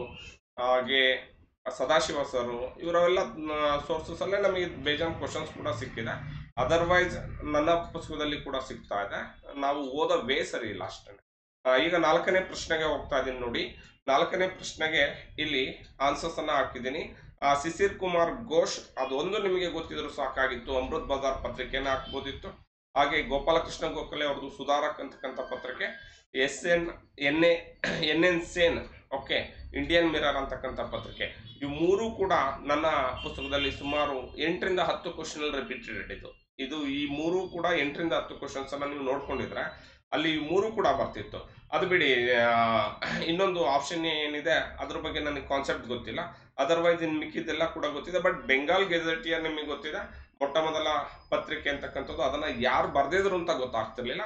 ಬಟ್ ಅದರ್ವೈಸ್ ಇನ್ ಮಿಕ್ಕಿದ್ದೆಲ್ಲ ಕೂಡ ನಿಮಗೆ ಕೊಟ್ಟಿದ್ದೀನಿ. ಅದು ನನ್ನ ಬುಕ್ಸಲ್ಲಿ ಆಲ್ರೆಡಿ ಇದೆ ಏಳೆಂಟು ಕ್ವಶನ್ಸ್ ಇದೆ. ನೀವು ಅದನ್ನ ಓದ್ದಲೇ ಕ್ವಶನ್ ಪೇಪರ್ ಟಫ್ ಅನ್ನಿಸ್ಬಾರ್ದು ಯಾಕೆಂತಂದ್ರೆ ಇದು degree college lecturer question paper question okay ಹಾಗಾಗಿ ನೆಕ್ಸ್ಟ್ ಪ್ರಶ್ನೆಗೆ ಹೋಗ್ತಾ ಇದ್ದೀನಿ ರಾಜಾರಾಮ್ ಮೋಹನ್ ರಾಯ್ ಸಾವಿರದ ಎಂಟುನೂರ ಹದಿನೆಂಟರಲ್ಲಿ ಕಲ್ಕತ್ತಾದಲ್ಲಿ ಮೊದಲು ಸ್ಥಾಪಿಸಿದ ಸಂಸ್ಥೆಯನ್ನು ಹೆಸರಿಸಿ. ಇಲ್ಲಿ ನಾನು, ಆತ್ಮೀಯ ಸಭಾ ಹಾಕಿದ್ದೀನಿ. ನಮ್ಮ ಪ್ರಕಾರ ಎಂಟು ಸಾವಿರದ ಎಂಟುನೂರ ಹದಿನಾಲ್ಕು ಅಥವಾ ಸಾವಿರದ ಎಂಟುನೂರ ಹದಿನಾರರಲ್ಲಿ ಕಲ್ಕತ್ತಾದಲ್ಲಿ ಪ್ರಾರಂಭಗೊಂಡಿದ್ದು ಆತ್ಮೀಯ ಸಭಾ. ಬಟ್ ಇವನು ಸಾವಿರದ ಎಂಟುನೂರ ಹದಿನೆಂಟು ಕೇಳ್ತಾ ಇದ್ದಾನೆ. ನಾನು ಇದನ್ನ ತುಂಬಾ ಸರ್ಚ್ ಮಾಡಿದೆ. ಅಪ್ಪಿತಪ್ಪಿ ಏನಾದರೂ ಆತ್ಮೀಯ ಸಭಾ ಮಿಸ್ ಆದ್ರೆ ಉಪನಿಷತ್ ಸಭಾ ಬರುತ್ತೆ. ಬಟ್ ಉಪನಿಷತ್ ಸಭೆ ಬಗ್ಗೆ ನಮ್ಗೆ ಯಾವುದೇ ಕಾನ್ಸೆಪ್ಟು ಯಾವುದೂ ಸೋರ್ಸು ಸಿಕ್ಕಿಲ್ಲ ನನಗೆ. ಇದನ್ನ ನನ್ನ ಒಂದು ಪ್ರಕಾರ ಆತ್ಮೀಯ ಸಭಾನೇ ಆಗಬೇಕೇ ಹೊರತು ಉಪನಿಷತ್ ಸಭ, ಅದನ್ನ ಬಿಟ್ರೆ ಸೆಕೆಂಡ್ ಆಪ್ಷನ್ ಉಪನಿಷತ್ ಸಭಾ ಆಗಬೇಕು. ಹಾಗಾಗಿ ಇದನ್ನ ನಾನು ಹಂಡ್ರೆಡ್ ಪರ್ಸೆಂಟ್ ಅಂತ ಹಾಕಿಲ್ಲ. ನನ್ನ ಒಂದು ಗೆಸ್ಸಿಂಗಲ್ಲಿ ಈ ತರ ಒನ್ ಆರ್ ಟು ಅಷ್ಟೇ ಇರೋದು. ಇನ್ನು ಮಿಕ್ಕಿದೆಲ್ಲ ಕೂಡ ನಾನು ಹಂಡ್ರೆಡ್ ಪರ್ಸೆಂಟ್ ಹಾಕಿದ್ದೀನಿ ನೋಡ್ಕೊಡಿ ಓಕೆ ನೆಕ್ಸ್ಟ್ ಆರನೇ ಪ್ರಶ್ನೆ, ಕೋಲ್ ದಂಗೆಯು ಮುಖ್ಯವಾಗಿ ಚೋಟನಾಗ್ಪುರ ಮತ್ತು ಬಿಹಾರ ಮತ್ತು ಒರಿಸ್ಸಾ ಸಿಂಗ್ಭೂಮ್ ಪ್ರದೇಶದಲ್ಲಿ ಯಾವ ವರ್ಷದಲ್ಲಿ ನಡೀತಪ್ಪ ಅಂದ್ರೆ eighteen thirty one thirty two easy questions repeated okay ಇದನ್ನು ಕೂಡ ರಿಪೀಟ್ ಆಗಿರೋದನ್ನ ನಾನು ನನ್ನ ಪುಸ್ತಕದಲ್ಲಿ ತೋರಿಸ್ತಾ ಹೋಗ್ತೀನಿ. ಓಕೆ ಆತ್ಮೀಯ ಸಭಾನು ಕೂಡ ತೋರಿಸ್ತೀನಿ. ನಿಮ್ಗೆ ಆತ್ಮೀಯ ಸಭಾ ಕಾನ್ಫಿಡೆನ್ಸ್ ಇಲ್ಲ. ಕಾರಣ ಏನಪ್ಪ ಅಂದ್ರೆ ಸಾವಿರದ ಎಂಟುನೂರ ಹದಿನಾಲ್ಕು ಅಥವಾ ಸಾವಿರದ ಎಂಟುನೂರ ಹದಿನಾರು ಕೊಟ್ಟಿರೋದು ರೈಟ್ ಆನ್ಸರ್ ಆಗ್ತಿತ್ತು. ಬಟ್ ನಾ ಅದನ್ನ ನಾನು ಫೈನಲ್ ಆಗಿ ಹೇಳೋಕೆ ರೆಡಿ ಇಲ್ಲ. ಆನಂತರ ನೋಡೋಣ. ನೋಡಿ, ಈ ಕೆಳಗಿನವರಲ್ಲಿ ಯಾರು ಮಧ್ಯಗಾಮಿಗಳು ಅಂತ ಬಂತು. ಇಲ್ಲಿ ವರ್ಡ್ ನಿಮಗೆ ಮಿಸ್ಟೇಕ್ ಆಗುತ್ತೆ. ಅಂದ್ರೆ ಗೊಂದಲಕ್ಕೆ ಈಡ್ ಮಾಡುತ್ತೆ. ಅವಾಗ ಇಂಗ್ಲಿಷ್ ವರ್ಷನ್ ಹೋಗ್ಬೇಕು ಮಾಡ್ರೇಟ್ಸ್ ಅಂತ ಇದೆ. ದಾದಾಬಾಯಿ ನವರೋಜಿ ಮತ್ತೆ ಗೋಪಾಲಕೃಷ್ಣ ಗೋಖಲೆ ಆರಾಮಾಗಿ ನೀವು ಸ್ಕೋರ್ ಅನ್ನ ಅದಕ್ಕೆ ಆನ್ಸರ್ ಅನ್ನ ಹಾಕ್ಬೋದಾಗಿದೆ. ಮುಂದೆ ನಾನು ಹಾಗೆ ಎಂಟನೇ ಪ್ರಶ್ನೆಗೆ ಹೋಗ್ತಾ ಇದ್ದೀನಿ. ಅಸರ್ಷನ್ ಅಥವಾ ಹೇಳಿಕೆಯೇ ಕಾರಣ ಆರ್ ನೋಡೋಣ. ಬ್ರಿಟಿಷ್ ಸರ್ಕಾರವು ಸರ್ ಸಿರಿಲ್ ರಾಡ್ಕ್ಲಿಫ್ ಅವರ ಅಧ್ಯಕ್ಷತೆಯಲ್ಲಿ ಗಡಿ ಆಯೋಗವನ್ನು ನೇಮಿಸಿತ್ತು ಹಂಡ್ರೆಡ್ ಪರ್ಸೆಂಟ್ ಅದ್ರ ಬಗ್ಗೆ ನೋಡೋಣ ಓಕೆ ಇದನ್ನು ನೇಮಿಸಿದ್ದು. ಆನಂತರ ಸಾವಿರದ ಒಂಬೈನೂರ ನಲವತ್ತೇಳರಲ್ಲಿ ಅದರ ವರದಿಯನ್ನು ಅನೌನ್ಸ್ ಮಾಡಿದ್ದು ಆಗಸ್ಟ್ ಹದಿನೇಳನೇ ತಾರೀಕು. ಅದೆಲ್ಲ ಕೂಡ ರೈಟ್ ಆನ್ಸರ್ ಬಟ್ ಅವನು, ನಮ್ಮ ಭಾರತದ ಬಗ್ಗೆ ಸೀಮಿತ ಜ್ಞಾನವನ್ನು ಹೊಂದಿದ್ದ. ಆ ಜೊತೆಗೆ ಹಳೆ ನಕ್ಷೆಗಳು, ಜನಗಣತಿ ಸಾಮಗ್ರಿಗಳ ಬಳಕೆ ಮಾಡಿಕೊಂಡು ಗಡಿಯನ್ನು ರಚಿಸುವ ಅನಿವಾರ್ಯತೆ ಇತ್ತು ಅವನಿಗೆ ಅಂತಕ್ಕಂಥದ್ದನ್ನು ನಾನು ಪಾಠ ಮಾಡ್ಬೇಕಾದ್ರೆ ಹೇಳ್ತಾ ಇರ್ತೀನಿ. ಓಕೆ ಕಾರಣ ಏನಪ್ಪಾ ಅಂತಂದ್ರೆ, ಅವನು ಯಾವುದೋ ಒಂದು ರೂಮಲ್ಲಿ ಇವುಗಳನ್ನೆಲ್ಲ ಕಲೆಕ್ಟ್ ಮಾಡ್ಕೊಂಡು ನಾವು ಒಂದು ಮನೆ ಡಿವೈಡ್ ಮಾಡ್ಬೇಕಾದ್ರೆ ವರ್ಷಾನ್ಗಟ್ಲೆ ಹತ್ತು ವರ್ಷ, ಹದಿನೈದು ವರ್ಷ ಆದ್ರೂ ಮನೆ ಡಿವೈಡ್ ಆಗಲ್ಲ. ಇನ್ನು ಕೆಲವೇ ತಿಂಗಳಲ್ಲಿ ಹಾಕೊಂಡು ಎಲ್ಲದನ್ನ ರೆಡಿ ಮಾಡ್ದ ಅಂತ ಹೇಳ್ತಾ ಇದ್ದೆ. ಆ ಬೇಸ್ ಮೇಲೆ ನಾನು ಆನ್ಸರ್ಸ್ ಅನ್ನ ಹಾಕಿರ್ತಕ್ಕಂಥದ್ದು ಇದು ರೈಟ್ ಆನ್ಸರ್ ಸಿ ಓಕೆ ಅದಾದ ನಂತರದಲ್ಲಿ ನೋಡೋಣ ಓಕೆ ಒಂಬತ್ತನೇ ಪ್ರಶ್ನೆ ಏನಿದೆ? ಒಂಬತ್ತನೇ ಪ್ರಶ್ನೆ, ಇದಕ್ಕೆ ನಾನು ನನ್ನದೇ ಆದಂಥ ಆನ್ಸರ್ನು ಹಾಕಕ್ಕೆ ಇಷ್ಟಪಡ್ತಾ ಇಲ್ಲ. ಇದ್ರ ಕಾನ್ಸೆಪ್ಟ್ ನಮಗಿಲ್ಲ. ಈ ಒಂದು ಕ್ವಶನ್ ಸೇರಿ ಒಂದು ನಾಲ್ಕರಿಂದ ಐದು ಕ್ವಶನ್ಸ್ ಮಾತ್ರ, ಒಂದು ಎರಡರಿಂದ ಮೂರು ಕ್ವಶನ್ಸ್ ಮಾತ್ರ ಮಿಸ್ ಆಗಿದೆ. ಇನ್ನು ಮಿಕ್ಕಿದ ಆನ್ಸರ್ಸನ್ನು ಕೊಡ್ತಾ ಹೋಗ್ತೀನಿ. ಓಕೆ ನೋಡಿ, ಇದು ಕೂಡ ರಿಪೀಟೆಡ್ ಪ್ರಶ್ನೆ. ಸಾವಿರದ ಒಂಬೈನೂರ ನಲವತ್ತೆರಡರ ಈ ಒಂದು ಕ್ವಿಟ್ ಇಂಡಿಯಾ ಚಳುವಳಿ ಏನಾಯ್ತು? ಕ್ವಿಟ್ ಇಂಡಿಯಾ ಚಳುವಳಿ ಆದ ನಂತರದಲ್ಲಿ ಸತಾರ ತಮ್ಲುಕ್ ಬಲ್ಯ ಈ ಮೂರು ಕಡೆ ಈ ಸರ್ಕಾರ ರಚನೆ ಆಗಿದ್ದನ್ನ ನೋಡ್ತೀವಿ. ಝಾನ್ಸಿಯಲ್ಲಿ ತೆಗೆದುಕೊಂಡಾಗ ಗಂಗಾಧರ್ ರಾವ್ ರಾಜ ಆಗಿದ್ದನ್ನ ನೋಡ್ತೀವಿ. ಅದು ಬ್ಯಾಕ್ ಹೋಗುತ್ತೆ. ಇನ್ನು ಮಿಕ್ಕಿದ್ದು ಇವೆಲ್ಲ ನೈನ್ಟೀನ್ ಫಾರ್ಟಿ ಟು ಆದ್ಮೇಲೆ ಸರ್ಕಾರಗಳು ರಚನೆ ಆಗುತ್ತಲ್ಲ ಆ ಪ್ಲೇಸ್ಗಳು, ಆ ಸರ್ಕಾರಗಳನ್ನು ಕೊಟ್ಟಿದ್ದಾನೆ. ಆಲ್ರೆಡಿ ಇದು ಎರಡು ಕ್ವಶನ್ ರಿಪೀಟ್ ಆಗಿದೆ. ಸಮಗ್ರ ಭಾರತದ ಇತಿಹಾಸದಲ್ಲಿ ಬಂದಿರತಕ್ಕಂಥ ಐ ಎ ಎಸ್ ಮತ್ತು ಕೆ ಎಸ್ ಆಪ್ಷನಲ್ ಪ್ರಶ್ನೆ ಪತ್ರಿಕೆ ಪ್ರಶ್ನೆಗಳು. ಅದನ್ನು ನೀವು ಕಾನ್ಸಂಟ್ರೇಟ್ ಮಾಡಿಲ್ಲ. ಅದು ನಿಮ್ಮ ಡ್ರಾಬ್ಯಾಕ್. ಓಕೆ? ನಾವು ಕ್ವಶನ್ ಪೇಪರ್ ಸೆಟ್ಟರ್ಸ್ನಾಗಲಿ ಅಥವಾ ಇಂಡೆಪ್ತ್ ಕೊಟ್ಟಿದ್ದಾನೆ. ಇವ್ಯಾವು ಸಿಗ್ತಾ ಇಲ್ಲ ಅಂತ ಹೇಳ್ಬಾರ್ದು. ಆಲ್ರೆಡಿ ಈ ಪ್ರಶ್ನೆ ಆಲ್ರೆಡಿ ಬಂದಿದೆ. ಜಾನ್ಸಿ ಬಿಟ್ಬಿಟ್ಟು ಬಲ್ಲಿಯ ತಮ್ಲುಕ್ ಸತಾರ ಇವೆಲ್ಲವೂ ಕೂಡ ರಿಪೀಟ್ ಆಗಿದೆ. ನೀವು ನೋಡ್ಕೋಬೇಕಿತ್ತಷ್ಟೇ. ನೆಕ್ಸ್ಟು ಈ ಒಂದು ಕೆಳಗಿನ ಘಟನೆಗಳನ್ನು ಕಾಲಾನುಕ್ರಮದಲ್ಲಿ ಬರೀರಿ. ಅಲ್ಲೇ ನಾನು ಇಸ್ವಿಗಳನ್ನ ಹಾಕಿದ್ದೀನಿ. ಮಿಂಟೋ ಮಾರ್ಲೆ ರಿಫಾರ್ಮ್ಸ್ ಇರ್ಬೋದು, ಚೌರಿ ಚೌರ ಇನ್ಸಿಡೆಂಟ್ ದಂಡಿ ಸತ್ಯಾಗ್ರಹ, ಮಾಂಟೆಗೌ ಚಂದ್ಫೋರ್ಡ್ ರಿಫಾರ್ಮ್ಸ್ ಅಲ್ಲೇ ನಾನು ಹಾಕಿರೋದ್ರಿಂದ ಅದನ್ನು ನೋಡ್ಕೊಡಿ. ಮತ್ತೆ ನಾನು ಅದನ್ನು ಟೈಮ್ ವೇಸ್ಟ್ ಮಾಡಲ್ಲ. ಮತ್ತೆ ಇದನ್ನ ವಿಡಿಯೋ ಮಾಡಬೇಕಲ್ಲ, ಆಗ ಮಾಡಿಕೊಡ್ತೀನಿ. ಹನ್ನೆರಡನೇ ಪ್ರಶ್ನೆಗೆ ಬಂದಾಗ, ಭಾರತಕ್ಕೆ ಬಂದಂಥ ಯುರೋಪಿಯನ್ನರ ಒಂದು ಕಾಲಾನುಕ್ರಮವನ್ನು ಬರಿಬೇಕಿತ್ತು. ಅಲ್ಲಿ ಹಾಕಿದ್ದೀನಿ. ಫಸ್ಟ್ ಬಂದವರು ಪೋರ್, ಪೋರ್ಚುಗೀಸರು, ಆನಂತರ ಡಚ್ಚರು, ಆನಂತರ ಆಂಗ್ಲರು, ಆನಂತರ ಡೇನ್ಸ್ ಬರ್ತಾರೆ. ಅದನ್ನು ನೋಡ್ಕೊಳ್ಳಿ ನೆಕ್ಸ್ಟ್ ಹದಿಮೂರನೇ ಪ್ರಶ್ನೆ. ಅವೆಲ್ಲ ನಿಮಗೆಲ್ಲ ಟೆಕ್ಸ್ಟ್ ಬುಕ್ಕಲ್ಲೂ ಸಿಗುತ್ತೆ. ಹಂಗಾಗಿ ನಾನು ಫಾಸ್ಟ್ ಹೋಗ್ತೀನಿ. ಅದು ಕೂಡ ರಿಪೀಟೆಡ್ ಪ್ರಶ್ನೆ. ಅದನ್ನು ನೋಡ್ಕೋಬೇಕು. ನೋಡಿ, ಹದಿಮೂರನೇ ಪ್ರಶ್ನೆ. ಯಾಕೆ ಇದು ರಿಪೀಟ್ ಆಗಿಲ್ಲ? ಇದು ರಿಪೀಟೆಡ್ ಓಕೆ ಸಮಗ್ರ ಭಾರತದ ಇತಿಹಾಸದಲ್ಲಿ ನಾನು ತುಂಬ ತುಂಬಾ ಕಡೆ ಈ ಪ್ರಶ್ನೆಯನ್ನ ತೋರಿಸ್ತೀನಿ. ಸರ್, ಇದೇ ತರ ಬರಬೇಕು. ಇದೇ ತರ ಬರ್ಬೇಕಂತ ರೂಲ್ ಇಲ್ಲ. ಈ ಅಂಶಗಳು ಬರ್ತಾ ಇದೆಯಾ? ಅದನ್ನ ರೆಡಿಯಾಗಿ ಇದೇ ತರ ಕೊಟ್ಟು ಇದನ್ನೇ ಕಟ್ ಕಾಪಿ ಪೇಸ್ಟ್ ಮಾಡೋದಕ್ಕೆ ಅವರು ದಡ್ರಲ್ಲ ಕ್ವಶನ್ ಪೇಪರ್ ಸೆಂಟರ್ಸ್ ಬಟ್ ಇದೆಲ್ಲ ಕೂಡ ಬಂದಿದೆ. ನೋಡಿ ಅಖಿಲ ಭಾರತ ಅಸ್ಪೃಶ್ಯತಾ ವಿರೋಧಿ ಲೀಗು ಎಂ ಕೆ ಗಾಂಧಿ, ಅಖಿಲ ಭಾರತ ಕಿಸಾನ್ ಸಭಾ ಸ್ವಾಮಿ ಸಹಜಾನಂದ ಸರಸ್ವತಿ, ಸ್ವಾಭಿಮಾನ್ ಚಳವಳಿ Ramaswamy Naicker S N D P Y Yoga Narayanaguru. ಇಷ್ಟು ಕೂಡ ನಿಮಗೆ ಟೆಕ್ಸ್ಟ್ ಬುಕ್ಕಲ್ಲಿ ಮತ್ತು ನನ್ನ ಬುಕ್ಕಲ್ಲಿ ಕೂಡ ರಿಪೀಟೆಡ್ ಪ್ರಶ್ನೆ. ಇದರ ಜೊತೆಗೆ ನಿಮಗೆ G S ಪೇಪರ್ಲಿ S N D P Y Narayana Guru ಇದೇ ನಾರಾಯಣಗುರು ನೈನ್ಟೀನ್ ಟ್ವೆಂಟಿ ಫೋರಲ್ಲಿ ಈ ಒಂದು ವೈಕಂ ಸತ್ಯಾಗ್ರಹವನ್ನು ಪ್ರಾರಂಭಿಸ್ತಾರೆ. ಆ ವೈಕಂ ಸತ್ಯಾಗ್ರಹದಲ್ಲಿ ಇದೇ ರಾಮಸ್ವಾಮಿ ನಾಯ್ಕರು ಭಾಗವಹಿಸ್ತಾರೆ ಎಂ ಕೆ ಗಾಂಧಿ ಭಾಗವಹಿಸ್ತಾರೆ ಟಿ ಎನ್ ಮಾಧವನ್. ಮೊನ್ನೆ ನಿಮಗೆ ಜಿ ಎಸ್ ಪೇಪರಲ್ಲಿ ಆ ಪ್ರಶ್ನೆ ಬಂದಿದೆ. ಓಕೆ ಟಿ ಎನ್ ಮಾಧವನ್ ಬಂದ್ಬಿಟ್ಟು ವೈಕಂ ಸತ್ಯಾಗ್ರಹ ಅಂತ. ನೀವು ನಾರಾಯಣ ಗುರು ಕಾನ್ಸೆಪ್ಟ್ ಇಟ್ಕೊಂತೀರಾ, ಅವ್ರನ್ನ ಬಿಟ್ಬಿಡ್ತೀರಾ? ಇವರೆಲ್ಲರೂ ಕೂಡ ಆ ಒಂದು ಚಳುವಳಿಯಲ್ಲಿ ಇದ್ರು. ನೀವು ಸಮಗ್ರವಾಗಿ ಅಧ್ಯಯನವನ್ನು ಮಾಡಿದ್ರೆ ಇವೆಲ್ಲವೂ ರಿಪೀಟೆಡ್ ಪ್ರಶ್ನೆ. ಅದು ಕೂಡ ಸಿಕ್ತಿತ್ತು. ಟಿ ಎನ್ ಮಾಧವನ್ ವಿಷಯಕ್ಕೆ ಬಂದಾಗ ನಾನು ಅದನ್ನೆಲ್ಲ ಕೂಡ ಪ್ರೂಫ್ ಸಮೇತ ಪೇಜ್ ಸಮೇತ ಹಾಕ್ತೀನಿ. ನಾಲ್ಕು ಪ್ರಶ್ನೆ ಆಗಿದೆ ಅದು. ಯಾವುದು? ವೈಕಂ ಸತ್ಯಾಗ್ರಹ ನಾಲ್ಕು ಪ್ರಶ್ನೆಯಲ್ಲಿ ಕೂಡ ಟಿ ಎನ್ ಮಾಧವನ್ ಇದ್ದಾರೆ. ಓಕೆ, ನನ್ನ ಸಮಗ್ರ ಭಾರತದ ಇತಿಹಾಸದಲ್ಲಿ ಪುನರುಜ್ಜೀವನ ಪಾಠದಲ್ಲಿ ರಿಪೀಟ್ ಆಗಿದೆ. ಒಂದ್ಸರ್ತಿ ನೋಡ್ಕೊಳ್ಳಿ. ಓಕೆನಾ? ಐದಕ್ಕೆ ಬಂದಾಗ ನಾನು ಆಕ್ಚುಲಿ ವರ್ಡ್ ಹಿಸ್ಟ್ರಿಯನ್ನು ನನ್ನ ಬುಕ್ಸಲ್ಲಿ ಬರ್ದಿಲ್ಲ ನಾನು. ಆದರೂ ಕೂಡ ಇದನ್ನು ನಾನು ಹೇಳಬೇಕಾಗಿದೆ, ಹೇಳ್ತೀನಿ. ಓಕೆನಾ? ವರ್ಡ್ ಹಿಸ್ಟ್ರಿ ಮತ್ತು ಹಿಸ್ಟ್ರೋಗ್ರಫಿ ಇವೆರಡು ಬಿಟ್ಬಿಟ್ಟು ಇನ್ನೆಲ್ಲವುದನ್ನು ಕೂಡ ಕೊಟ್ಟಿದ್ದೀನಿ. ಅದನ್ನು ನೋಡ್ಕೊಳ್ಳಿ. ಬಟ್ ಆನ್ಸರ್ ಕೊಟ್ಟಿದ್ದೀನಿ. ಓಕೆ ಪುಸ್ತಕದಲ್ಲಿ, ನನ್ನ ಪುಸ್ತಕದಲ್ಲಿ ಇವನ್ ಬಿಟ್ಬಿಟ್ಟಿದ್ದೀನಿ ಅಂತ ಹೇಳಿದ್ದೀನಿ. ಅಷ್ಟೇ ವರ್ಸೆಲ್ಸ್ ಒಪ್ಪಂದದ ಅಡಿಯಲ್ಲಿ ಎರಡು ಪ್ರಾಂತ್ಯಗಳಲ್ಲಿ ಯಾವುದನ್ನ ಫ್ರಾನ್ಸ್ಗೆ ಹಿಂದಿರುಗಿಸಲಾಯ್ತಪ್ಪ ಅಂತಂದ್ರೆ ಆಲ್ಸೆಸ್ ಮತ್ತು ಲೊರೈನ್ಗಳನ್ನ ಹಿಂದಿರುಗಿಸಿದ್ದನ್ನ ನೋಡ್ತೀವಿ. ಅದೇ ರೀತಿ ನೆಕ್ಸ್ಟ್ ಹದಿನೈದನೇ ಪ್ರಶ್ನೆಗೆ ಹೋಗ್ತಾ ಇದ್ದೀನಿ.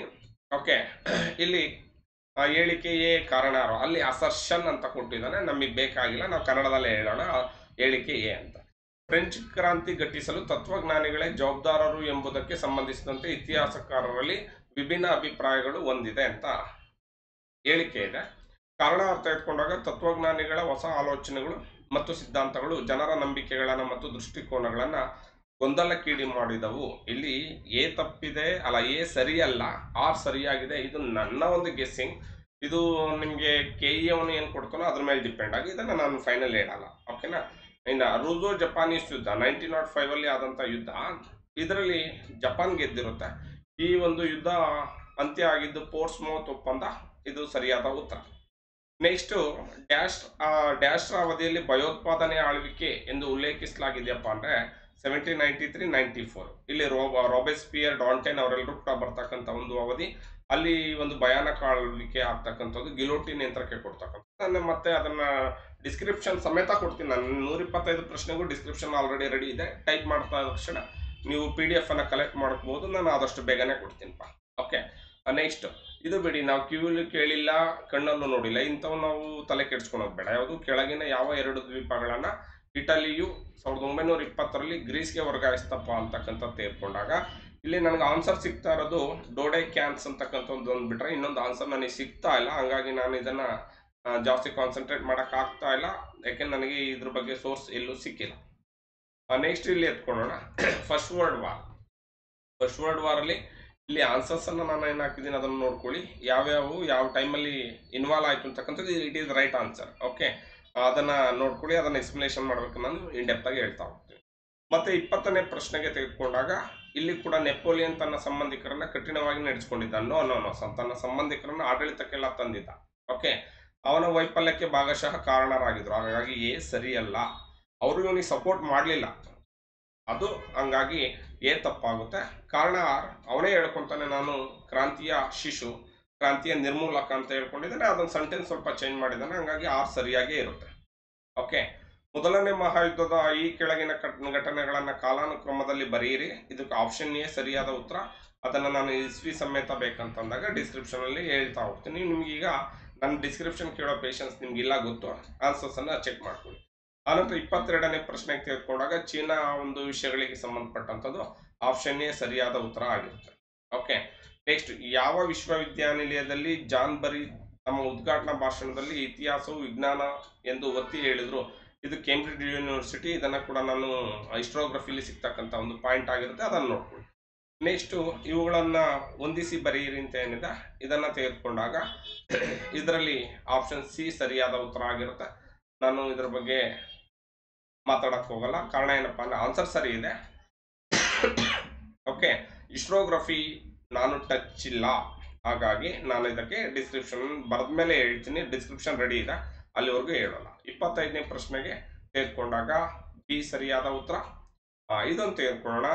ಪುರುಷರು ಏನು ಮಾಡಿದ್ದಾರೆ ಮತ್ತು ಹೇಳಿದ್ದಾರೆ? ಎಲ್ಲಕ್ಕಿಂತ ಹೆಚ್ಚಾಗಿ ಅವರು ಏನು ಯೋಚಿಸಿದ್ದಾರೆ? ಇದು ಇತಿಹಾಸ. ಈಗೆಂದು ಯಾರು ಹೇಳ್ತಾರಪ್ಪ ಅಂದ್ರೆ ರೇನಿಯರ್ ಬಟ್ ಇದೇ ಸೆಂಟೆನ್ಸ್ ನನಗೆ ಸಿಕ್ಕಿಲ್ಲ. ಬಟ್ ಆ ಒಂದು ಫ್ರೂಟ್ ಬೇಸ್ ಮೇಲೆ ನಾನು ಹಾಕ್ತಾ ಇದ್ದೀನಿ ರೆನಿಯರ್ ಓಕೆನಾ ನೆಕ್ಸ್ಟ್ ಇಪ್ಪತ್ತೇಳನೇ ಪ್ರಶ್ನೆಗೆ ತೆಗೆದುಕೊಂಡಾಗ ಕೆಳಗಿನವುಗಳಲ್ಲಿ ವಿಲಿಯಂ ಹ್ಯಾರಿಸನ್ ಮೋರ್ಲ್ಯಾಂಡ್ ಅವರ ಕೃತಿಗಳು. ಇವು ನೀವೆಲ್ಲ ನಾನು ಆಕ್ಚುಲಿ ಕೆಲವೊಂದು ಬುಕ್ಸ್ ರೆಡಿ ಮಾಡ್ತಾ ಇದ್ದೀನಪ್ಪ ಶಾರ್ಟ್ಲಿ ಕೊಡ್ತೀನಿ. Okay G P S T R ಬುಕ್ಸ್ಗಳನ್ನು ready ಮಾಡೋದ್ರಿಂದ ಇದು ಪೆಂಡಿಂಗ್ ಬಿತ್ತು, ಹಂಗಾಗಿ ಆ ಕೃತಿಗಳನ್ನೆಲ್ಲ ನಾನು ಹಾಕಿದ್ದೀನಿ. ಮತ್ತೆ ಡಿಸ್ಕ್ರಿಪ್ಷನ್ ಕೊಡ್ತೀನಿ ಇನ್ನೊಂದು ವಾರದಲ್ಲಿ, ಅಲ್ಲಿ ನೋಡ್ಕೊಳ್ಳಿ. ಇಪ್ಪತ್ತೆಂಟನೇ ಪ್ರಶ್ನೆ ಏನಿದೆ, ಅದಕ್ಕೆ ನನಗೆ ಉತ್ತರ ಗೊತ್ತಿಲ್ಲ, ನಾನು ಅದ್ರ ಬಗ್ಗೆ ಮಾತಾಡೋಲ್ಲ. ಇಪ್ಪತ್ತೊಂಬತ್ತನೇ ಪ್ರಶ್ನೆಗೆ ಬಂದಾಗ ಆಪ್ಷನ್ ಡಿ ಸರಿಯಾದ ಉತ್ತರ. ಮೂವತ್ತನೇ ಪ್ರಶ್ನೆಗೆ ಬಂದಾಗ ಆಪ್ಷನ್ ಬಿ ಸರಿಯಾದ ಉತ್ತರ. ಆಕ್ಸ್ಫರ್ಡ್ ಸ್ಕೂಲ್ನ ಸ್ಕೂಲ್ ಆಫ್ ಹಿಸ್ಟ್ರಿಗೆ ಸೇರಿದವರು ಅದರಲ್ಲಿ. ವಿನ್ಸೆಂಟ್ ಸ್ಮಿತ್, ಇವೆಲ್ಲ ನಿಮಗೆ ನೆನ್ಪುಳಿಯೋದು ಕಷ್ಟ. ಪಾಪ ಇದನ್ನ ನಾನು ಬ್ಲೇಮ್ ಮಾಡಲ್ಲ. ಇವುಗಳನ್ನ ಬಿಟ್ಟು ಈಸಿ ಇರೋದನ್ನ ಮಾರ್ಸ್ಕೊಳಕ್ ಹೋಗ್ಬಾರ್ದು ಅಷ್ಟೇ. ಆಪ್ಷನ್ ಡಿ ಸರಿಯಾದ ಉತ್ತರ. ಓಕೆ ಮೂವತ್ತೆರಡನೇ ಪ್ರಶ್ನೆ. ಇಲ್ಲಿ ಫಿಲಾಲಜಿಯ ಬಗ್ಗೆ ಕೇಳಿದಾನೆ. ಇದರಲ್ಲಿ ಆಪ್ಷನ್ ಸಿ ಸರಿಯಾದ ಉತ್ತರ ಎ ಮತ್ತು ಆರ್ ಎರಡೂ ಸರಿಯಾಗಿವೆ, ಆದರೆ ಆರ್ ಎನ ಸರಿಯಾದ ವಿವರಣೆ ಆಗಿರೋದಿಲ್ಲ. ಓಕೆ ಇದು ನೋಡಿ ಇಲ್ಲ, ಇದು ಹಂಡ್ರೆಡ್ ಪರ್ಸೆಂಟ್ ಇದೆ. ಅವ್ನು ಕೆ ಎನ್ ಕೊಟ್ಟರು ಕೂಡ ಚೇಂಜ್ ಮಾಡೋಕೆ ಸಾಧ್ಯ ಇಲ್ಲ ಓಕೆ ಈ ಕೆಳಗಿನ ಇತಿಹಾಸ, ಇತಿಹಾಸಕಾರರನ್ನ ಕಾಲಾನುಕ್ರಮದಲ್ಲಿ ಬರಿಬೇಕಾಗಿತ್ತು. ಆಪ್ಷನ್ ಡಿ ಸರಿಯಾದ ಉತ್ತರ. ಮೂವತ್ನಾಲ್ಕನೇ ಪ್ರಶ್ನೆಗೆ ಬರ್ತಾ ಇದ್ದೀನಿ ಕಾಲಾನುಕ್ರಮದಲ್ಲಿ ಬರೆಯೋದು ಈ ಒಂದು ವಿಷಯಕ್ಕೆ ತೆಗೆದುಕೊಂಡಾಗ ಇಲ್ಲಿ ಸರಿಯಾದ ಉತ್ತರ ನಾಲ್ಕು ಆಪ್ಷನ್ ಅಲ್ಲಿ ನಮಗೆ ಬರ್ತಾ ಇಲ್ಲ. ಅದಕ್ಕೆ ನಾನು ಡೇಟ್ ಕೂಡ ಇಸ್ವಿ ಕೂಡ ಹಾಕ್ಬಿಟ್ಟಿದ್ದೀನಿ. ಹಾಗಾಗಿ ಆಪ್ಷನ್ ಮುಂದೆ ಏನಿದೆ ಅದನ್ನ ನೋಡ್ಕೊಳ್ಳಿ. ಓಕೆ ಮೂವತ್ತೈದನೇ ವಿಷ, ಪ್ರಶ್ನೆಗೆ ಕೆ ಎಂ ಪಣಿಕರ್ ಅವರ ಕೃತಿಗಳನ್ನ ಕೇಳಿದ್ರು. ಕಾಲಾನುಕ್ರಮದಲ್ಲಿ ಅಲ್ಲಿ ನಾನು ಅದನ್ನ ಹಾಕಿದ್ದೀನಿ. ಸರಿಯಾದ ಉತ್ತರ ಆರ್ಡ್ರಲ್ಲೇ ಕರೆಕ್ಟಾಗಿ ಅವರೇ ಕೊಟ್ಬಿಟ್ಟಿದ್ದಾರೆ. ನೋಡ್ಕೊಳ್ಳಿ. ಆನಂತರದಲ್ಲಿ ಮೂವತ್ತಾರನೇ ಪ್ರಶ್ನೆ ಆಪ್ಷನ್ ಡಿ ಸರಿಯಾದ ಉತ್ತರ. ಇಲ್ಲಿ ಕೆ ಎಂ ಪಣಿಕರ್ ಒಂದು ಬೇಸ್ ಇಟ್ಕೊಂಡ್ರೆ ನೆಕ್ಸ್ಟ್ ಅವರ ಒಂದು ಮೇಲ್ಗಡೆದು ಕೆ ಎಂ ಪಣಿಕರ್, ಕಾವಲಂ ಪಣಿಕರ್ ಅಂತ ಹೇಳಿ ಬರ್ತಕ್ಕಂಥದ್ದು. ಕಾವಲಂ ಅವ್ರು ಹುಟ್ಟಿದ ಸ್ಥಳ, ಆ ಬೇಸ್ ಮೇಲೆ ನಮ್ಗೆ ಏನಾದ್ರು ಗೊತ್ತಾಗಿದ್ರೆ ಇವೆರಡು ಪ್ರಶ್ನೆ, ಮೂವತ್ತೈದನೇ ಪ್ರಶ್ನೆ ಒಂದು ಕೆ ಎಂ ಪಣಿಕರ್, ಮತ್ತೆ ಮೂವತ್ತಾರನೇ ಪ್ರಶ್ನೆ ಕಾವಲಂ. ಮಿಕ್ಕಿದ ಗೊತ್ತಾಗಿಲ್ಲ ಅಂದ್ರೂ ಹಾಕ್ಬೋದಿತ್ತು ಕಾರಣ ಅಂತಂದ್ರೆ ಅಲ್ಲೆಲ್ಲೂ ಗೊಂದಲ ಆಗಲ್ಲ. ನೋಡಿ, ಕೆ ಎಂ ಪಣಿಕರ್ ಬಿಗೆ ಒಂದೇ ಸರಿಯಾದ ಉತ್ತರ. ಅದು ಅದು ನಾನು ಕೂಡ ಅಷ್ಟನ್ನೇ ಹಾಕಿರೋದು. ಅದೊಂದೇ ಬೇಸ್ ಮೇಲೆ ನಾನು ಇದಕ್ಕೆ ಕೀ ಆನ್ಸರ್ ಕೊಟ್ಟಿದ್ದೀನಿ. ಅದೊಂದೇ ಸಾಕಿತ್ತು. ಆನಂತರ ಇಲ್ಲಿ ಇತಿಹಾಸಕಾರರ ವಿಷಯಕ್ಕೆ ಬಂದಾಗ ಇಲ್ಲಿ ಕೂಡ ನನ್ನ ಬುಕ್ಸ್ ಅಲ್ಲಿ ಅದೊಂದು ವಿಷಯ ತಿಳ್ಕೊಂಡಿದ್ರೆ ಸಾಕಿತ್ತು. ಇದು ರಿಪೀಟೆಡ್ ಪ್ರಶ್ನೆ ಆಗಿದೆ ಕೆ ಪಿ ಜೈಸ್ವಾಲ್ ಇದ್ದಾರೆ ಡಿ ಡಿ ಕೋಸಂಬಿ ಇವೆರಡು ಬಂದಿದೆ. ಮಾರ್ಕ್ಸ್ವಾದಿ ಮತ್ತು ಸಬಲ್ಟಾನ್ಸ್ ರಾಷ್ಟ್ರೀಯವಾದಿ ಇತಿಹಾಸಕಾರರು ಇವೆಲ್ಲ ಬಂದಿದೆ. ಇಲ್ಲಿ ಜ್ಞಾನ್ ಪಾಂಡೆ ಗ್ರಾಂಡ್ ಡಫ್ ಬರಲಿಲ್ಲ ಅಂದ್ರೂ ಇವೆರಡನ್ನ ನೀವು ಓದ್ಕೊಂಡಿದ್ರೆ ಆರಾಮಾಗಿ ಕ್ಲಿಕ್ ಆಗ್ಬೋದಿತ್ತು. ಇಲ್ಲಿ ಮಾರ್ಕ್ಸ್ ಕಳ್ಕೊಳ್ಳೋದಕ್ಕೆ ಕಾರಣ ಇರ್ತಿರ್ಲಿಲ್ಲ, ಬಟ್ ನೀವು ಓದಿಲ್ಲ ಅಂದಾಗ ಕಷ್ಟ ಆಗುತ್ತೆ. ಡಿ ಕೋಸಂಬಿ ನಿಮಗೆ K P S C questions ಕೂಡ ಆಗಿದೆ. ಇದು ಈತ ಒಬ್ಬ ಮಾರ್ಕ್ಸ್ವಾದಿ ಇತಿಹಾಸ ಶಾಸ್ತ್ರಜ್ಞ ಅಂತ. ನೀವು ಅದೊಂದು ಇಟ್ಕೊಂಡಿದ್ರು ಆರಾಮಾಗಿ ಕ್ರಾಕ್ ಮಾಡ್ಬೋದು ನೆಕ್ಸ್ಟ್ ನೋಡಿ, ರಾಮಾಯಣದ ಉತ್ತರದ ಆವೃತ್ತಿಯು ಈ ಕೆಳಗಿನ ಅವುಗಳಲ್ಲಿ ಯಾವುದನ್ನ ಒಳಗೊಂಡಿತ್ತಂದ್ರೆ ಓಕೆ ಆಪ್ಷನ್ ಬಿ ಸರಿಯಾದ ಉತ್ತರ, ಈಶಾನ್ಯ ಮತ್ತು ಆಗ್ನೇಯಗಳನ್ನು ಒಳಗೊಂಡಿರೋದನ್ನ ನೋಡ್ತೀವಿ. ಇವೆಲ್ಲ ತುಂಬಾ ಇಂಡೆಪ್ತ್ ಆಯ್ತು ಬಿಡಿ. ಓಕೆ ನೆಕ್ಸ್ಟ್ ಮಹಾಭಾರತದ್ದು ಅಷ್ಟೇ ಇವೆಲ್ಲ ಇವೆಲ್ಲ ನಿಮ್ಮೆಲ್ರಿಗೂ ಕೂಡ, ಎಲ್ರಿಗೂ ಆಗೋದು ನಿಮಗೂ ಆಗುತ್ತೆ. ಓಕೆ ಹಂಗಾಗಿ ಇವುಗಳ ಬಗ್ಗೆ ಚಿಂತೆ ಮಾಡಬಾರ್ದು, ಗೊತ್ತಿಲ್ವಾ ಟಚ್ ಮಾಡಬಾರ್ದು. ಅದು ಕಾಮನ್ ಸೆನ್ಸ್ ಓಕೆ ಮಹಾಭಾರತಕ್ಕೆ ಸಂಬಂಧಿಸಿದ ಈ ಕೆಳಗಿನ ಯಾವ ತಾಣಗಳು ಸಹ ಪೈಂಟೆಡ್ ಗ್ರೇ ವೇರ್ ಪಾಠಗಳನ್ನು ನೀಡಿವೆ ಅಂದರೆ ಒಂದು ಮತ್ತು ಮೂರು ಸರಿಯಾದ ಉತ್ತರ ಆಗಿದೆ. ಅದರಲ್ಲಿ ಏನು ಡೌಟ್ ಇಲ್ಲ. ಓಕೆ ಅದನ್ನು ನೋಡ್ಕೋಬೇಕಾಗಿತ್ತು ನೀವು. ಆಮೇಲೆ ನನ್ನ ಒಂದು ಪುಸ್ತಕದಲ್ಲಿ ಇದೆ ಇದು. ಓಕೆ ಮೈಕ್ರೋಲಿತ್ ಒಂದು ಕಾನ್ಸೆಪ್ಟ್ ಗೊತ್ತಾಗಿದ್ರೆ ನೀವು ಹಾಕ್ಬೋದಿತ್ತು ಆನ್ಸರ್ ಆಪ್ಷನ್ ಡಿ ಸರಿಯಾದ ಉತ್ತರ. ಅರಣ್ಯಕಗಳು ತೆಗೆದುಕೊಂಡಾಗ ಇಲ್ಲಿ ಅವು ಸಂಹಿತಾ ಭಾಗಗಳ ಗದ್ಯ ವಿವರಣೆ ಆಗಿದೆ. ಅದು ಕೂಡ ನನ್ನ ಬುಕ್ಸಲ್ಲಿದೆ ಅದನ್ನು ಪ್ರಶ್ನೋತ್ತರ ವಿವರಣಾತ್ಮಕ ಕೈಪಿಡಿ, ಸಮಗ್ರ ಭಾರತದ ಪ್ರಶ್ನೋತ್ತರ ವಿವರಣಾತ್ಮಕ ಕೈಪಿಡಿಯಲ್ಲಿದೆ. ಅದನ್ನು ನೋಡ್ಕೋಬೇಕಿತ್ತು. ರಾಮಾಯಣದಲ್ಲಿರುವ ಕಾಂಡಗಳ ಸಂಖ್ಯೆ, ಇದು ಗೊತ್ತಾಗಲ್ಲ ಬಿಡಿ, ನನಗೂ ಗೊತ್ತಿರಲಿಲ್ಲ. ಈ ಪೇಪರ್ ನೋಡಿದ ಮೇಲೆ ಗೊತ್ತಾಗಿದ್ದು ಏಳು ಇದೆ ಅಂತ. ಓಕೆ ತುಂಬಾ ಕಷ್ಟದ ಪ್ರಶ್ನೆ. ಇದು ನನಗೆ ಎಲ್ಲೂ ಸಿಕ್ಕಿಲ್ಲ. ನಾನು ಗೆಸ್ ಮೇಲೆ ಹಾಕಿದ್ದೀನಿ ನಲವತ್ತ್ಮೂರನೇ ಪ್ರಶ್ನೆ. ಓಕೆ ಭಾರತೀಯ ಶಿಲಾಯುಗವನ್ನು ವಿವಿಧ ಹಂತಗಳಾಗಿ ವಿಭಜಿಸುವುದು ಕೆಳಗಿನವುಗಳಲ್ಲಿ ಯಾವುದನ್ನು ಆಧರಿಸಿದೆ ಅಂದರೆ ಲೋಹಗಳ ಉಪಕರಣಗಳನ್ನು ಆಧರಿಸಿದೆ. ನಲವತ್ನಾಲ್ಕನೇ ಪ್ರಶ್ನೆಗೆ ಬರ್ತಾ ಇದ್ದೀನಿ ಇದು ಆಲ್ರೆಡಿ ಕೇಸೆಟ್ಟಲ್ಲಿ ರಿಪೀಟ್ ಆಗಿರ್ತಕ್ಕಂಥ ಪ್ರಶ್ನೆ ಆಗಿದೆ. ಇದು ಎ ಮತ್ತು ಆರ್ ಎರಡೂ ಸರಿ ಆರ್ ಏನ ಸರಿಯಾದ ವಿವರಣೆ ಕೂಡ ಆಗಿರೋದನ್ನ ನೋಡ್ತೀವಿ. ನೆಕ್ಸ್ಟ್ ನಲವತ್ತೈದನೇ ಪ್ರಶ್ನೆಗೆ ತೆಗೆದುಕೊಂಡಾಗ, ಇದು ಗೊತ್ತಿಲ್ಲ. ನಾನು ಆನ್ಸರ್ ಅನ್ನ ಹುಡುಕಿ ಹಾಕಿರೋದು ರೈಟ್ ಆನ್ಸರ್ ಇದು ಏನು ಗೊಂದಲ ಬೇಡ. ಎ ಮತ್ತು ಆರ್ ಎರಡೂ ಸರಿ, ಆರ್ ಮತ್ತು ಆರ್ ಏನ ಸರಿಯಾದ ವಿವರಣೆ ಆಗಿರ್ತಕ್ಕಂಥದ್ದನ್ನ ನೋಡ್ತೀನಿ. ಇದು ಅಷ್ಟೇನೆ. ಈ ಒಂದು ಕಾಲಾನುಕ್ರಮದಲ್ಲಿ ಕೆ ಎನ್ ಅಶ್ವತ್ಥಪ್ಪ ಬುಕ್ಕಲ್ಲಿ ಕೂಡ ಸಿಗುತ್ತೆ. ವಿನಯ ಪಿಟಕ, ದೀಪ ವಂಶಮ್ಮ ಮಿಲಿಂದಪ್ಪನ ಅವಧಾನ ಶತಕ ಸಿಗಲ್ಲ. ಅವಧಾನ ಶತಕ ಒಂದನ್ನ ನೀವು ತಿಳ್ಕೊಂಡ್ರೆ ಇದನ್ನೆಲ್ಲ ಕೂಡ ಹಾಕ್ಬಹುದು ಇದು ಕೆ ಎನ್ ಅಶ್ವತ್ಥಪ್ಪ ಸರ್ ನನ್ನ ಬುಕ್ಸ್ಗಳಲ್ಲಿ ಸದಾಶಿವ ಸರ್ ಬುಕ್ಕು ಎಲ್ಲದರಲ್ಲೂ ಇದೆ. ಇದು ಏನು ಗೊಂದಲ ಅಲ್ಲ. ಗೊಂದಲದ ಪ್ರಶ್ನೆನೇ ಅಲ್ಲ. ಇದನ್ನು ಕೂಡ ನೀವು ಟ್ರೈ ಮಾಡಿದ್ರೆ ಆಗ್ಬೋದಿತ್ತು. ಇದು ಈಸಿಯೆಸ್ಟ್ ಪ್ರಶ್ನೆ ರಿಪೀಟೆಡ್ ಓಕೆ ಇಲ್ಲಿ ತೋಡ್ಕಾಪಿಯ ಮತ್ತು ಅಷ್ಟಾಧ್ಯಾಯ ಮಹಾಭಾಷ್ಯ. ಈ ಮೂರು ಸಿಗುತ್ತೆ ನನಗೆ ಪ್ರಾಕೃತ ಪ್ರಕಾಶ ಬಿಟ್ಟು ಇನ್ನು ಮಿಕ್ಕಿದೆಲ್ಲ ಕೂಡ ಸಿಕ್ತಿತ್ತು ನೀವು ಟ್ರೈ ಮಾಡಬೇಕಿತ್ತು ಅಷ್ಟೇ. ಓಕೆ ಇದು ಕೂಡ ರಿಪೀಟೆಡ್ ಪ್ರಶ್ನೆನೆ. ನೆಕ್ಸ್ಟು ಕೆಳಗಿನ ಶಾಸನ ರೂಪಗಳನ್ನು ಕಾಲಾನುಕ್ರಮದಲ್ಲಿ ಬರೀರಿ.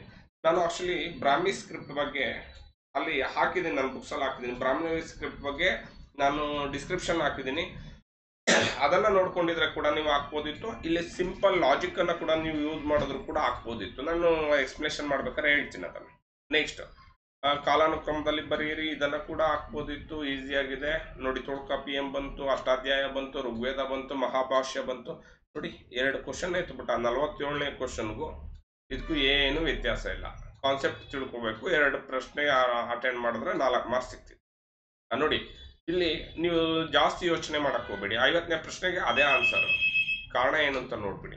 ಐವತ್ತನೇ ಪ್ರಶ್ನೆಗೆ ಇದೇ ಆನ್ಸರ್ ಕಾರಣ ಏನಪ್ಪಾ ಅಂತಂದ್ರೆ ನಿಮ್ಮ ಮೈಂಡಲ್ಲಿ ಬರುತ್ತೆ ತಮಿಳು ಅತಿಯಾಗಿ ಜಾಸ್ತಿ ಮಾತಾಡೋದಲ್ವಾ ಅಂತ. ನೋ ನೋ ನೋ ಓಕೆ ನಾನು ಡಿಸ್ಕ್ರಿಪ್ಷನ್ ಸಮೇತ ಅದನ್ನ ಕೊಡ್ತೀನಿ. ಆಪ್ಷನ್ ಸಿ ಸರಿಯಾದ ಉತ್ತರ.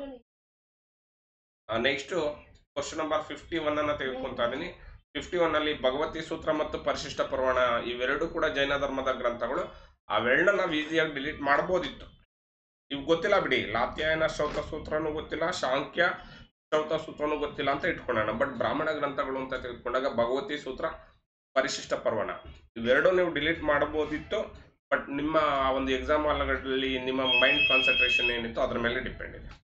ನೆಕ್ಸ್ಟ್ ಅದಾದ ನಂತರದಲ್ಲಿ ಮಹಾಜನಪದ ಅಂಗವು ಯಾವ ನದಿಗಳ ಸಂಗಮದಲ್ಲಿ ಇತ್ತಪ್ಪ ಅಂದ್ರೆ ಗಂಗಾ ಮತ್ತು ಚಂಪಾ ನದಿ ಓಕೆ ಗಂಗಾ ಮತ್ತು ಚಂಪಾ ನದಿ ನೆಕ್ಸ್ಟ್ ಕ್ವಶನ್ ನಂಬರ್ ಫಿಫ್ಟಿ ತ್ರೀಯನ್ನ ನೋಡ್ತಾ ಇದ್ದೀನಿ ಇಲ್ಲಿ ಹಂಡ್ರೆಡ್ ಪರ್ಸೆಂಟ್ ಈಸಿ ಇದೆ ಬಿಡಿ. ಎ ಮತ್ತು ಆರ್ ಎರಡು ಸರಿ ಇದೆ. ಆರ್ ಎನ ಸರಿಯಾದ ವಿವರಣೆ ಕೂಡ ಆಗಿರೋದನ್ನು ನೋಡ್ತೀವಿ. ಹಳ್ಳಿಯ ಬಡಗಿಯನ್ನು ಉಲ್ಲೇಖಿಸುವ ಪಾಲಿ ಪಠ್ಯಗಳು ಬಳಸುವ ಪಾಲಿ ಪದ ಒದ್ದೋಕ್ತಿ ಒದ್ದೋಕಿ ಗ್ರಾಮ ಅಂತ. ಇದು ಟಫ್ ಇದೆ ಬಿಡಿ. ಓಕೆ ಇದು ಟಫ್ ಇದೆ ಬಟ್ ಕೀ ಆನ್ಸರ್ ಸರಿ ಇದೆ. ಇಂಥವು ಟಚ್ ಮಾಡಲೇಬಾರ್ದು ಗೊತ್ತಿಲ್ಲ ನೆಕ್ಸ್ಟ್ ಸಂಗಮ್. ಸಂಗಮ್ ಸಾಹಿತ್ಯದ ಒಂದ್ ನಿಮಿಷ ಅಲ್ಲಿ ಹೋಗಿ ಮಧು ಸಣ್ಣ ಕಳಿಸೋ ಕಾವ್ಯ ಮಧು ಸಣ್ಣ ಕಳಿಸು. ಅಲ್ಲೇ ನಿಂತ್ಕೊಳಕ್ಕೆ ಮಧು ನೆಕ್ಸ್ಟ್ ಸಂಗಮ್ ಸಾಹಿತ್ಯದ ಪುರಂ ಕವಿತೆಗಳು ಕೆಳಗಿನವುಗಳಲ್ಲಿ ಏನನ್ನ ಸಾಧಿಸುವ ಗುರಿಯನ್ನ ಹೊಂದಿದ್ದವು ಅಂತ ನೋಡೋದಾದ್ರೆ ಮಕ್ಕಳು. ಓಕೆ ಸರಿಯಾದ ಉತ್ತರ ಮಕ್ಕಳು. ಐವತ್ತಾರನೇ ಪ್ರಶ್ನೆಗೆ ನೋಡಿದಾಗ ಓಕೆ ಉಳಿಗಮಾನ್ಯ ಪದ್ಧತಿ ಸಿದ್ಧಾಂತಕ್ಕೆ ಪರ್ಯಾಯ ಸಿದ್ಧಾಂತವನ್ನು ಪ್ರತಿಪಾದಿಸಿದವರು ಯಾರು ಅಂತ ಕೇಳಿದಾಗ ಆಪ್ಷನ್ ಡಿ ಸರಿಯಾದ ಉತ್ತರ ಅದನ್ನು ನೋಡ್ಕೊಳ್ಳಿ. ನೆಕ್ಸ್ಟ್ ಇದನ್ನ ಹಾಕ್ಬೋದಿತ್ತು ನೀವು. ಗೆಸ್ ಮಾಡಿದ್ರೆ ಇದು ರೈಟ್ ಆನ್ಸರ್ ಹಾಕ್ಬೋದಿತ್ತು. ಐವತ್ತೇಳನೇದಕ್ಕೆ ಎ ಸರಿಯಾದ ಉತ್ತರ. ಐವತ್ತೆಂಟನೇದಕ್ಕೆ ತೆಗೆದುಕೊಂಡಾಗ ಇದು ನನಗೆ ತಿಳಿದು ಬಂದಿಲ್ಲ. ಆಪ್ಷನ್ ಇದು ಹೇಳಿಕೆ ಎ ಸರಿಯಾಗಿದೆ ಬಟ್ ಕಾರಣ ನನಗೆ ಗೊತ್ತಾಗ್ತಾ ಇಲ್ಲ. ಹಂಗಾಗಿ ನಾನು ಅದನ್ನ ಹೇಳಕ್ಕೆ ರೆಡಿ ನೆಕ್ಸ್ಟ್ ಐವತ್ತೊಂಬತ್ತನೇ ಪ್ರಶ್ನೆಗೆ ತೆಗೆದುಕೊಂಡಾಗ ಬಿಂಬಸಾರ ನಂದರು ಅಜಾತಶತ್ರು ಶಿಶುನಾಗ. ಇದೆಲ್ಲ ಟೆಕ್ಸ್ಟ್ ಬುಕ್ ಅಲ್ಲೂ ಇದೆ. ನಿಮ್ಗೆ ಆರಾಮಾಗಿ ಈಸಿಯಾಗಿ ಸ್ಕೋರ್ ಮಾಡ್ಬೋದಾಗಿತ್ತು. ಇದನ್ನ ಕೂಡ ನೀವು ತಪ್ಪು ಮಾಡ್ಕೊಂಡಿದ್ದೀರ. ನೆಕ್ಸ್ಟ್ ಓಕೆ ಕೆಳಗಿನ ಲೇಖಕರು ಅಥವಾ ಕೃತಿಗಳನ್ನು ಕಾಲಾನುಕ್ರಮದಲ್ಲಿ ಬರಿ, ಬರಿಬೋದಿತ್ತು. ತಾರಾನಾಥ ಬಂದು ಚೀನಿಯ ಒಂದು ಪ್ರವಾಸಿಗ, ಮೌರ್ಯರ ಶಾಸನಗಳು, ಮುದ್ರಾ ರಾಕ್ಷಸ ವಂಶತ್ತ ಪಕವಾಸಿನಿ. ಇಲ್ಲಿ ಅದು ಕಷ್ಟ ಇದೆ ಪಾಪ. ನಾನು ಇಲ್ಲ ಅಂತ ಹೇಳ್ತಲ್ಲ. ವಂಶತ್ತ ಪಕಾಸಿನಿ ಎಲ್ಲಿ ಬರುತ್ತಪ್ಪ ಅಂದ್ರೆ ಜೈನ ಧರ್ಮದ ಒಂದು ಗ್ರಂಥ ಆಗಿರಲ್ಲ, ಬೌದ್ಧ ಧರ್ಮದ ಗ್ರಂಥ ಆಗಿರುತ್ತೆ. ನಾನೆಲ್ಲ ಡಿಸ್ಕ್ರಿಪ್ಷನ್ ಅನ್ನ ಶಾರ್ಟ್ಲಿ ಕೊಡ್ತೀನಪ್ಪ. ಡಿ ಟಿ ಪಿ ಆದ ತಕ್ಷಣದಲ್ಲೇ ನಾನು ನಿಮಗೆ ವಿತ್ ಪಿ ಡಿ ಎಫ್ ಸಮೇತ ಕೊಡ್ತೀನಿ. ವೆಯ್ಟ್ ಮಾಡಿ. ಈ ನೂರ ಇಪ್ಪತ್ತೈದು ಪ್ರಶ್ನೆಗಳಿಗೂ ಕೂಡ ನಾನು ಕೊಡ್ತಾ ಹೋಗ್ತೀನಿ. ನೆಕ್ಸ್ಟ್ ಕೆಳಗಿನವುಗಳನ್ನ ಹೊಂದಿಸಿ ಬರೆಯಿರಿ. ಶಹವಾಜ್ಗರಿ ಮನ್ಷೇರ, ಕಲ್ಸಿ, ಕಂದಾರ್ ಎಲ್ಲವೂ ಕೂಡ ನಮಗೆ ತುಂಬಾ ಈಸಿಯಾಗಿರ್ತಕ್ಕಂಥದ್ದು ಬೇಡ ನಮಗೆ ಮನುಷ್ಯ ಕಲ್ಸಿ ಬೇಡ. ಶಹವಾಜ್ಗರಿ ಹೇಳ್ಬೋದಿತ್ತು, ಮನ್ಷೇರ ಹೇಳ್ಬೋದಿತ್ತು, ಕಂದಾರ್ ಹೇಳ್ಬೋದಿತ್ತು.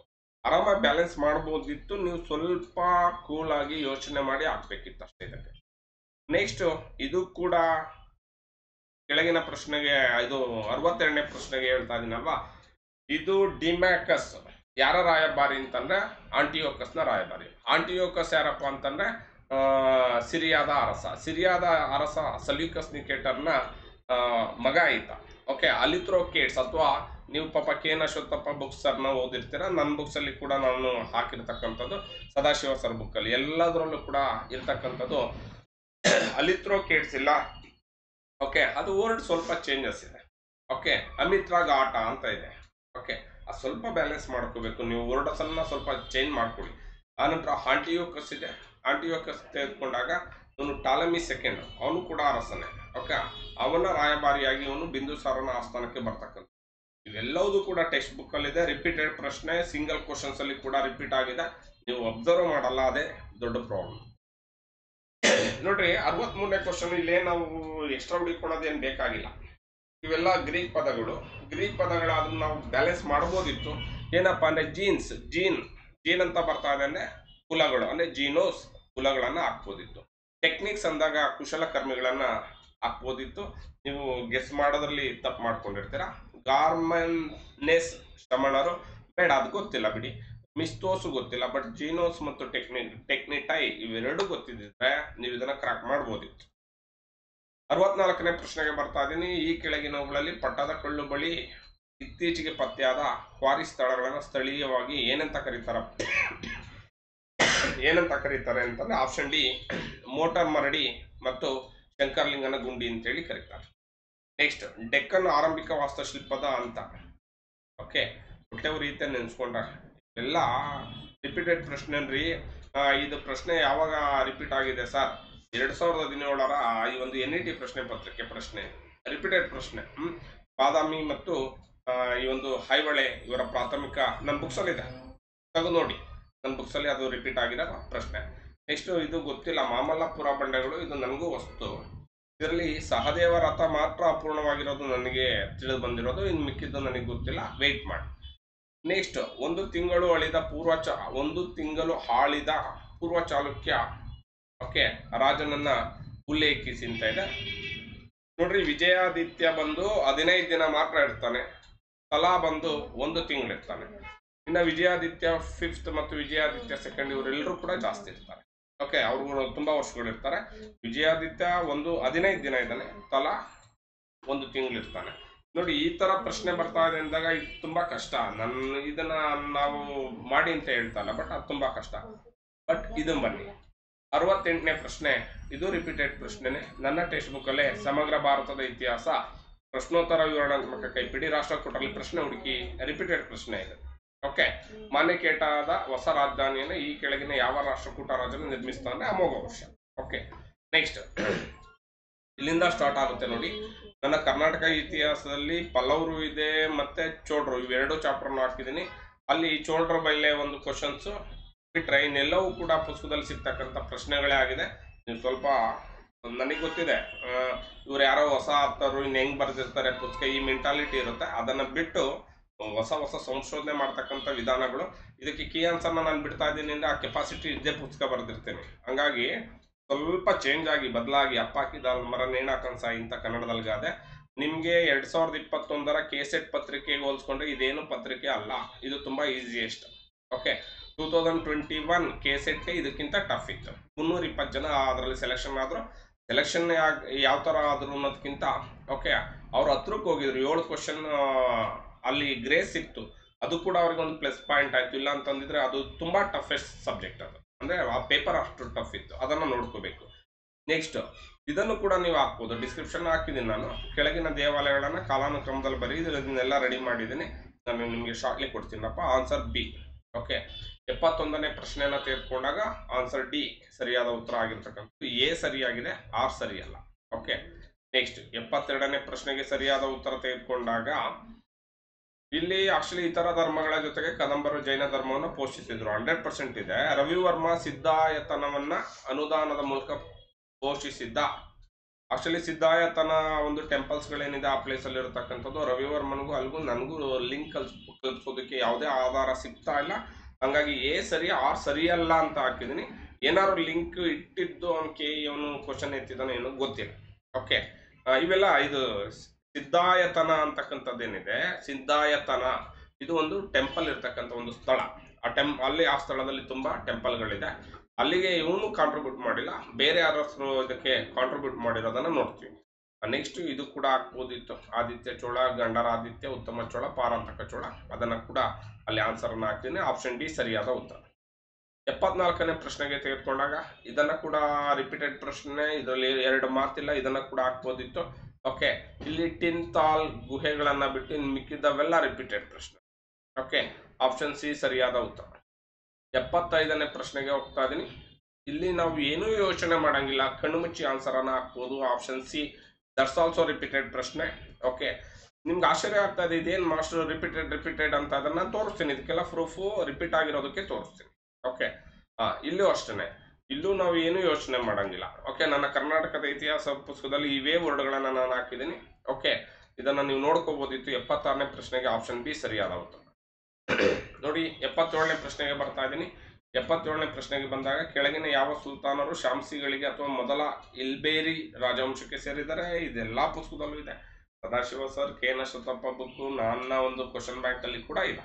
ಓಕೆ ನೆಕ್ಸ್ಟ್ ಎಪ್ಪತ್ತೆಂಟನೇ ಪ್ರಶ್ನೆ ಕೂಡ ಇಲ್ಲಿ ನೀವು ಸಿಂಪಲ್ ಆಗಿ ಗೆಸ್ ಮಾಡಬಹುದಿತ್ತು ಮತ್ತೆ ಟೆಕ್ಸ್ಟ್ ಬುಕ್ ಅಲ್ಲಿ ರಿಪೀಟ್ ಆಗಿದೆ. ಮಿನಾಜು ಸಿರಾಜ್ ಬರೋದು, ದೆಹಲಿಯ ಸುಲ್ತಾನ್ರಲ್ಲಿ. ಯಹಾಬಿನ್ ಸರ್ವಿಂದಿ ಬರ್ತಕ್ಕಂಥದ್ದು ಕೂಡ ದೆಹಲಿ ಸುಲ್ತಾನ್ರಲ್ಲಿ. ಅವೆರಡನ್ನ ಸಿಂಪಲ್ ಆಗಿ ಡಿಲೀಟ್ ಮಾಡ್ಕೊಂಡಿದ್ರು ನೀವು ಆನ್ಸರ್ ಹಾಕ್ಬೋದಿತ್ತು. ದಟ್ಸ್ ಆಲ್ಸೋ ರಿಪೀಟೆಡ್ ಪ್ರಶ್ನೆ. ಓಕೆ ಎರಡು ಮಾತಿಲ್ಲ ಇಲ್ಲಿ. ಕೆಲವು ವರ್ಡ್ಗಳು ನಿಮ್ಗೆ ಅರ್ಥ ಆಗಿಲ್ಲ ಅನ್ಕೊಂತೀನಿ. ಎಪ್ಪತ್ತೊಂಬತ್ತನೇ ಪ್ರಶ್ನೆ ಗೋರ್ಗೀಸ್ ಅಥವಾ ಬಾರ್ಗೀಸ್ ಮತ್ತು ಶಿಲಾಹರ್ ದಾಸ್. ಓಕೆ ಇವೆರಡು ಕೂಡ ಮರಾಠರ ಅಶ್ವಸೇನೆಗೆ ಸಂಬಂಧಪಟ್ಟಿದ್ದು ಎರಡೇ ವಿಧ ಬರೋದು. ಒಂದು ಬಾರ್ಗೀರ್ ದಾಸ್ ಮತ್ತು ಶಿಲಾರ್ದಾಸ್ ಅಷ್ಟನ್ನೇ ನೀವು ನೋಡ್ಕೊಂಡೆ ಶಿಲ್ದಾರ್ಸ್ ಮತ್ತು ಬಾರ್ಗೀರ್ಸ್ ಅದನ್ನೇ ಗೋರ್ಗೀರ್ಸ್ ಅಂಡ್ ಸಿಲ್ದಾರ್ಸ್ ಅಂತ ಹೇಳಿ ಕೇಳಿದ್ದಾನೆ. ಐ ಥಿಂಕ್ ಆ ಮರಾಠಿ ಪದಗಳಿರ್ಬೋದು ಏನೋ ನನಗೆ ಗೊತ್ತಿಲ್ಲ. ಹಾಗಾಗಿ ಆ ವರ್ಡ್ಗಳನ್ನ ತೆಗೆದು ಹಾಗೆ ಹಾಕ್ಬಿಟ್ಟಿದ್ದೆ. ನೆಕ್ಸ್ಟ್ ಚಂಗೇಶ್ ಖಾನನ ಮೊಮ್ಮಗ ಯಾರು? ಮೊಮ್ಮಗ ನಮಗೆ ಸಿಗಲ್ಲ. ಮಗ ಸಿಗ್ತಾನೆ. ಉಲ್ಲುಖ್ ಖಾನ್ ಬರ್ತಾನೆ. ಬಟ್ ನಾನು ಓದಿರೋದು ಉಲ್ಲುಖ್ ಖಾನ್, ಚಂಗೇಶ್ ಖಾನನ ಮಗ ಅಂತ. ಬಟ್ ಅದೇ ಆನ್ಸರ್ ಆಗ್ಬೇಕೆ ಹೊರತು ಜಾಫರ್ ಖಾನ್ ಖಾದರ್ ಖಾನ್ ಅಲುಕ್ ಖಾನ್ ಇವ್ರು ಯಾರು ಕೂಡ ಇಲ್ಲಿ ಬರಲ್ಲ. ಇವನ್ಗಿಂತ ಅದಾದ್ಮೇಲೆ ತುಂಬಾ ವರ್ಷಗಳಾದ್ಮೇಲೆ ಬರ್ತಾರ. ಹಾಗಾಗಿ ಇವನಿಗೆ ಸಂಬಂಧ ಕಲ್ಪಿಸೋಕ್ಕಾಗಲ್ಲ. ಉಲ್ಲೂಕ್ ಖಾನೇ ಸರಿಯಾದ ಉತ್ತರ ಅಂತ ನಾನು ಅನ್ಕೊಂಡಿದ್ದೀನಿ ಕಾರಣ ಇವನು ಮಗ, ಮೊಮ್ಮಗ ಅಂತ ಕೇಳಿದಾನೆ ಅದಕ್ಕೆ ನನಗೆ ಸ್ವಲ್ಪ ಗೊಂದಲ ಇದೆ. ಹಂಗಾಗಿ ಅದೇ ಸರಿಯಾದ ಉತ್ತರ. ನೋಡಿ, ಮನ್ಸಬ್ ಎಂಬ ಪದ ಕೆಳಗಿನ ಯಾವ ಭಾಷೆಯಿಂದ ಉಗಮವಾಗಿದೆ ಅಂದ್ರೆ ಪರ್ಷಿಯನ್ ನೋಡಿ U P S C K P S C answer ಅಲ್ಲಿ ಮಂಗೋಲಿಯಾ ಕೊಟ್ಬಿಟ್ಟಿದ್ದಾನೆ. ಓಕೆ ಬಟ್ ಕೆ ನಲ್ಲಿ ಅವನು ಯಾವತ್ತೂ ಚೇಂಜ್ ಆಗಿಲ್ಲ. ಪರ್ಷಿಯಾನೇ ಕೊಟ್ಟಿದ್ದಾನೆ ಬಟ್ ಈ ಸತ್ಯ ಆಪ್ಷನ್ ಚೇಂಜ್ ಮಾಡಿದ್ದಾನೆ. ಇಟಾಲಿಯನ್ ಅರಬಿಕ್ ಗ್ರೀಕ್ ಕೊಟ್ಟಿದ್ದಾನೆ. ಅಲ್ಲಿ ಮಂಗೋಲಿಯಾ ಇರ್ತಿತ್ತು ಪರ್ಷಿಯಾ ಇರ್ತಿತ್ತು. ನೀವು ಯಾವುದೇ ಇಂಟರ್ನೆಟ್ ತೆಗೆದು ನೋಡಿದಾಗ ನೆಟ್ಟಲ್ಲೆಲ್ಲ ಕೂಡ, ಯಾವುದೇ ಆಮೇಲೆ ವೆಬ್ಸೈಟಲ್ಲೆಲ್ಲ ಕೂಡ ಮಂಗೋಲಿಯಾ ಅಂತ ಇರುತ್ತೆ. ನಾನು ಅದಕ್ಕೆ ಹೇಳ್ತಾ ಇರ್ತೀನಿ ಹುಡುಗರಿಗೆ, ತುಂಬ ಜನ ಫೋನ್ ಮಾಡ್ತಾರೆ ಸರ್ ಪುಸ್ತಕದಲ್ಲಿ ತುಂಬ ತಪ್ಪಿದೆ. ಏನ್ ತಪ್ಪಿದೆಯಪ್ಪ ಎಷ್ಟಿದೆ ತುಂಬ ಇದೆ ಸರ್ ಎಷ್ಟಿದೆ ಅಂದರೆ ಒಂದು ಹೇಳ್ತಾರೆ, ಎರಡು ಹೇಳ್ತಾರೆ. ಇರುತ್ತೆ ಒಂದು ಬುಕ್ಸ್ ಅಂದಮೇಲೆ ಆರು ಸಾವಿರ ಕ್ವಶನಲ್ಲಿ ಒಂದು ಐದು ಕ್ವಶನ್ ತಪ್ಪು, ಹತ್ತು. ಹತ್ತರಿಂದ ಹದಿನೈದು ಕ್ವಶನ್ ರಾಂಗ್ ಇರ್ಬೋದು. ಅದಕ್ಕೆ ತುಂಬಾ ತಪ್ಪಿದೆ ಅಂತೀರಾ? ಅದನ್ನ ಓದ್ದಲೇ ಇದ್ರೆ ತುಂಬಾ ಕಳ್ಕೊಂಡಿರ್ತೀರಾ? ಅದು ಮೇನ್ ತಪ್ಪು. ಇದು ಬಿಡಿ. ಕೆಳಗಿನ ಯಾವ ಪೇಶ್ವೆ ಕಾಲದಲ್ಲಿ ಆಂಗ್ಲರು ಪೇಶ್ವಾಶಿಪ್ ಅನ್ನ ರದ್ದುಪಡಿಸಿದ್ರು. ಇದು ತುಂಬಾ ಈಸಿಯಸ್ಟ್ ಪ್ರಶ್ನೆ. ಬಾಜಿರಾಯ ಸೆಕೆಂಡ್ ಕಾನ್ಪುರವನ್ನು ಅವನಿಗೆ ಜಾಗೀರ್ ಹಾಕೊಟ್ಟು ಪೇಶ್ವ ಹುದ್ದೆಯನ್ನು ರದ್ದುಪಡಿಸಿ ಆತನನ್ನ ಪೂನಾದಿಂದ ಓಡಿಸಿದ್ದನ್ನ ಕೂಡ ನೋಡ್ತೀವಿ. ಇದು ಕೂಡ ಎಲ್ಲ ಬುಕ್ಸಲ್ಲೂ ಇರ್ತಕ್ಕಂಥದ್ದು. ಓಕೆ ಇಲ್ಲಿ ತೆಗೆದುಕೊಳ್ಳಿ. ಇಲ್ಲಿ ಎಂಬತ್ಮೂರನೇ ಪ್ರಶ್ನೆ ಆರಾಮಾಗಿ ಈಸಿಯಾಗಿ ಆನ್ಸರ್ ಮಾಡ್ಬೋದು ನೋಡಿ.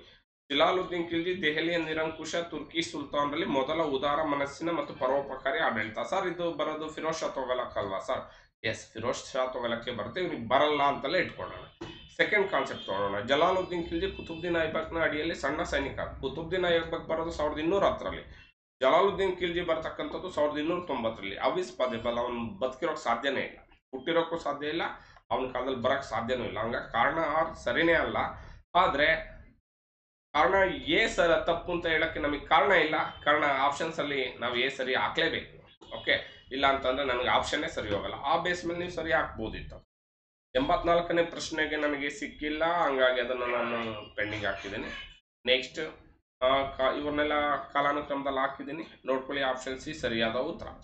ಎಂಬತ್ತಾರನೇ ಪ್ರಶ್ನೆಗೆ ತೆಗೆದುಕೊಂಡಾಗ ವೆರಿ ಸಿಂಪಲ್ ಇದನ್ನ ಕೂಡ ಯೋಚನೆ ಮಾಡಿ.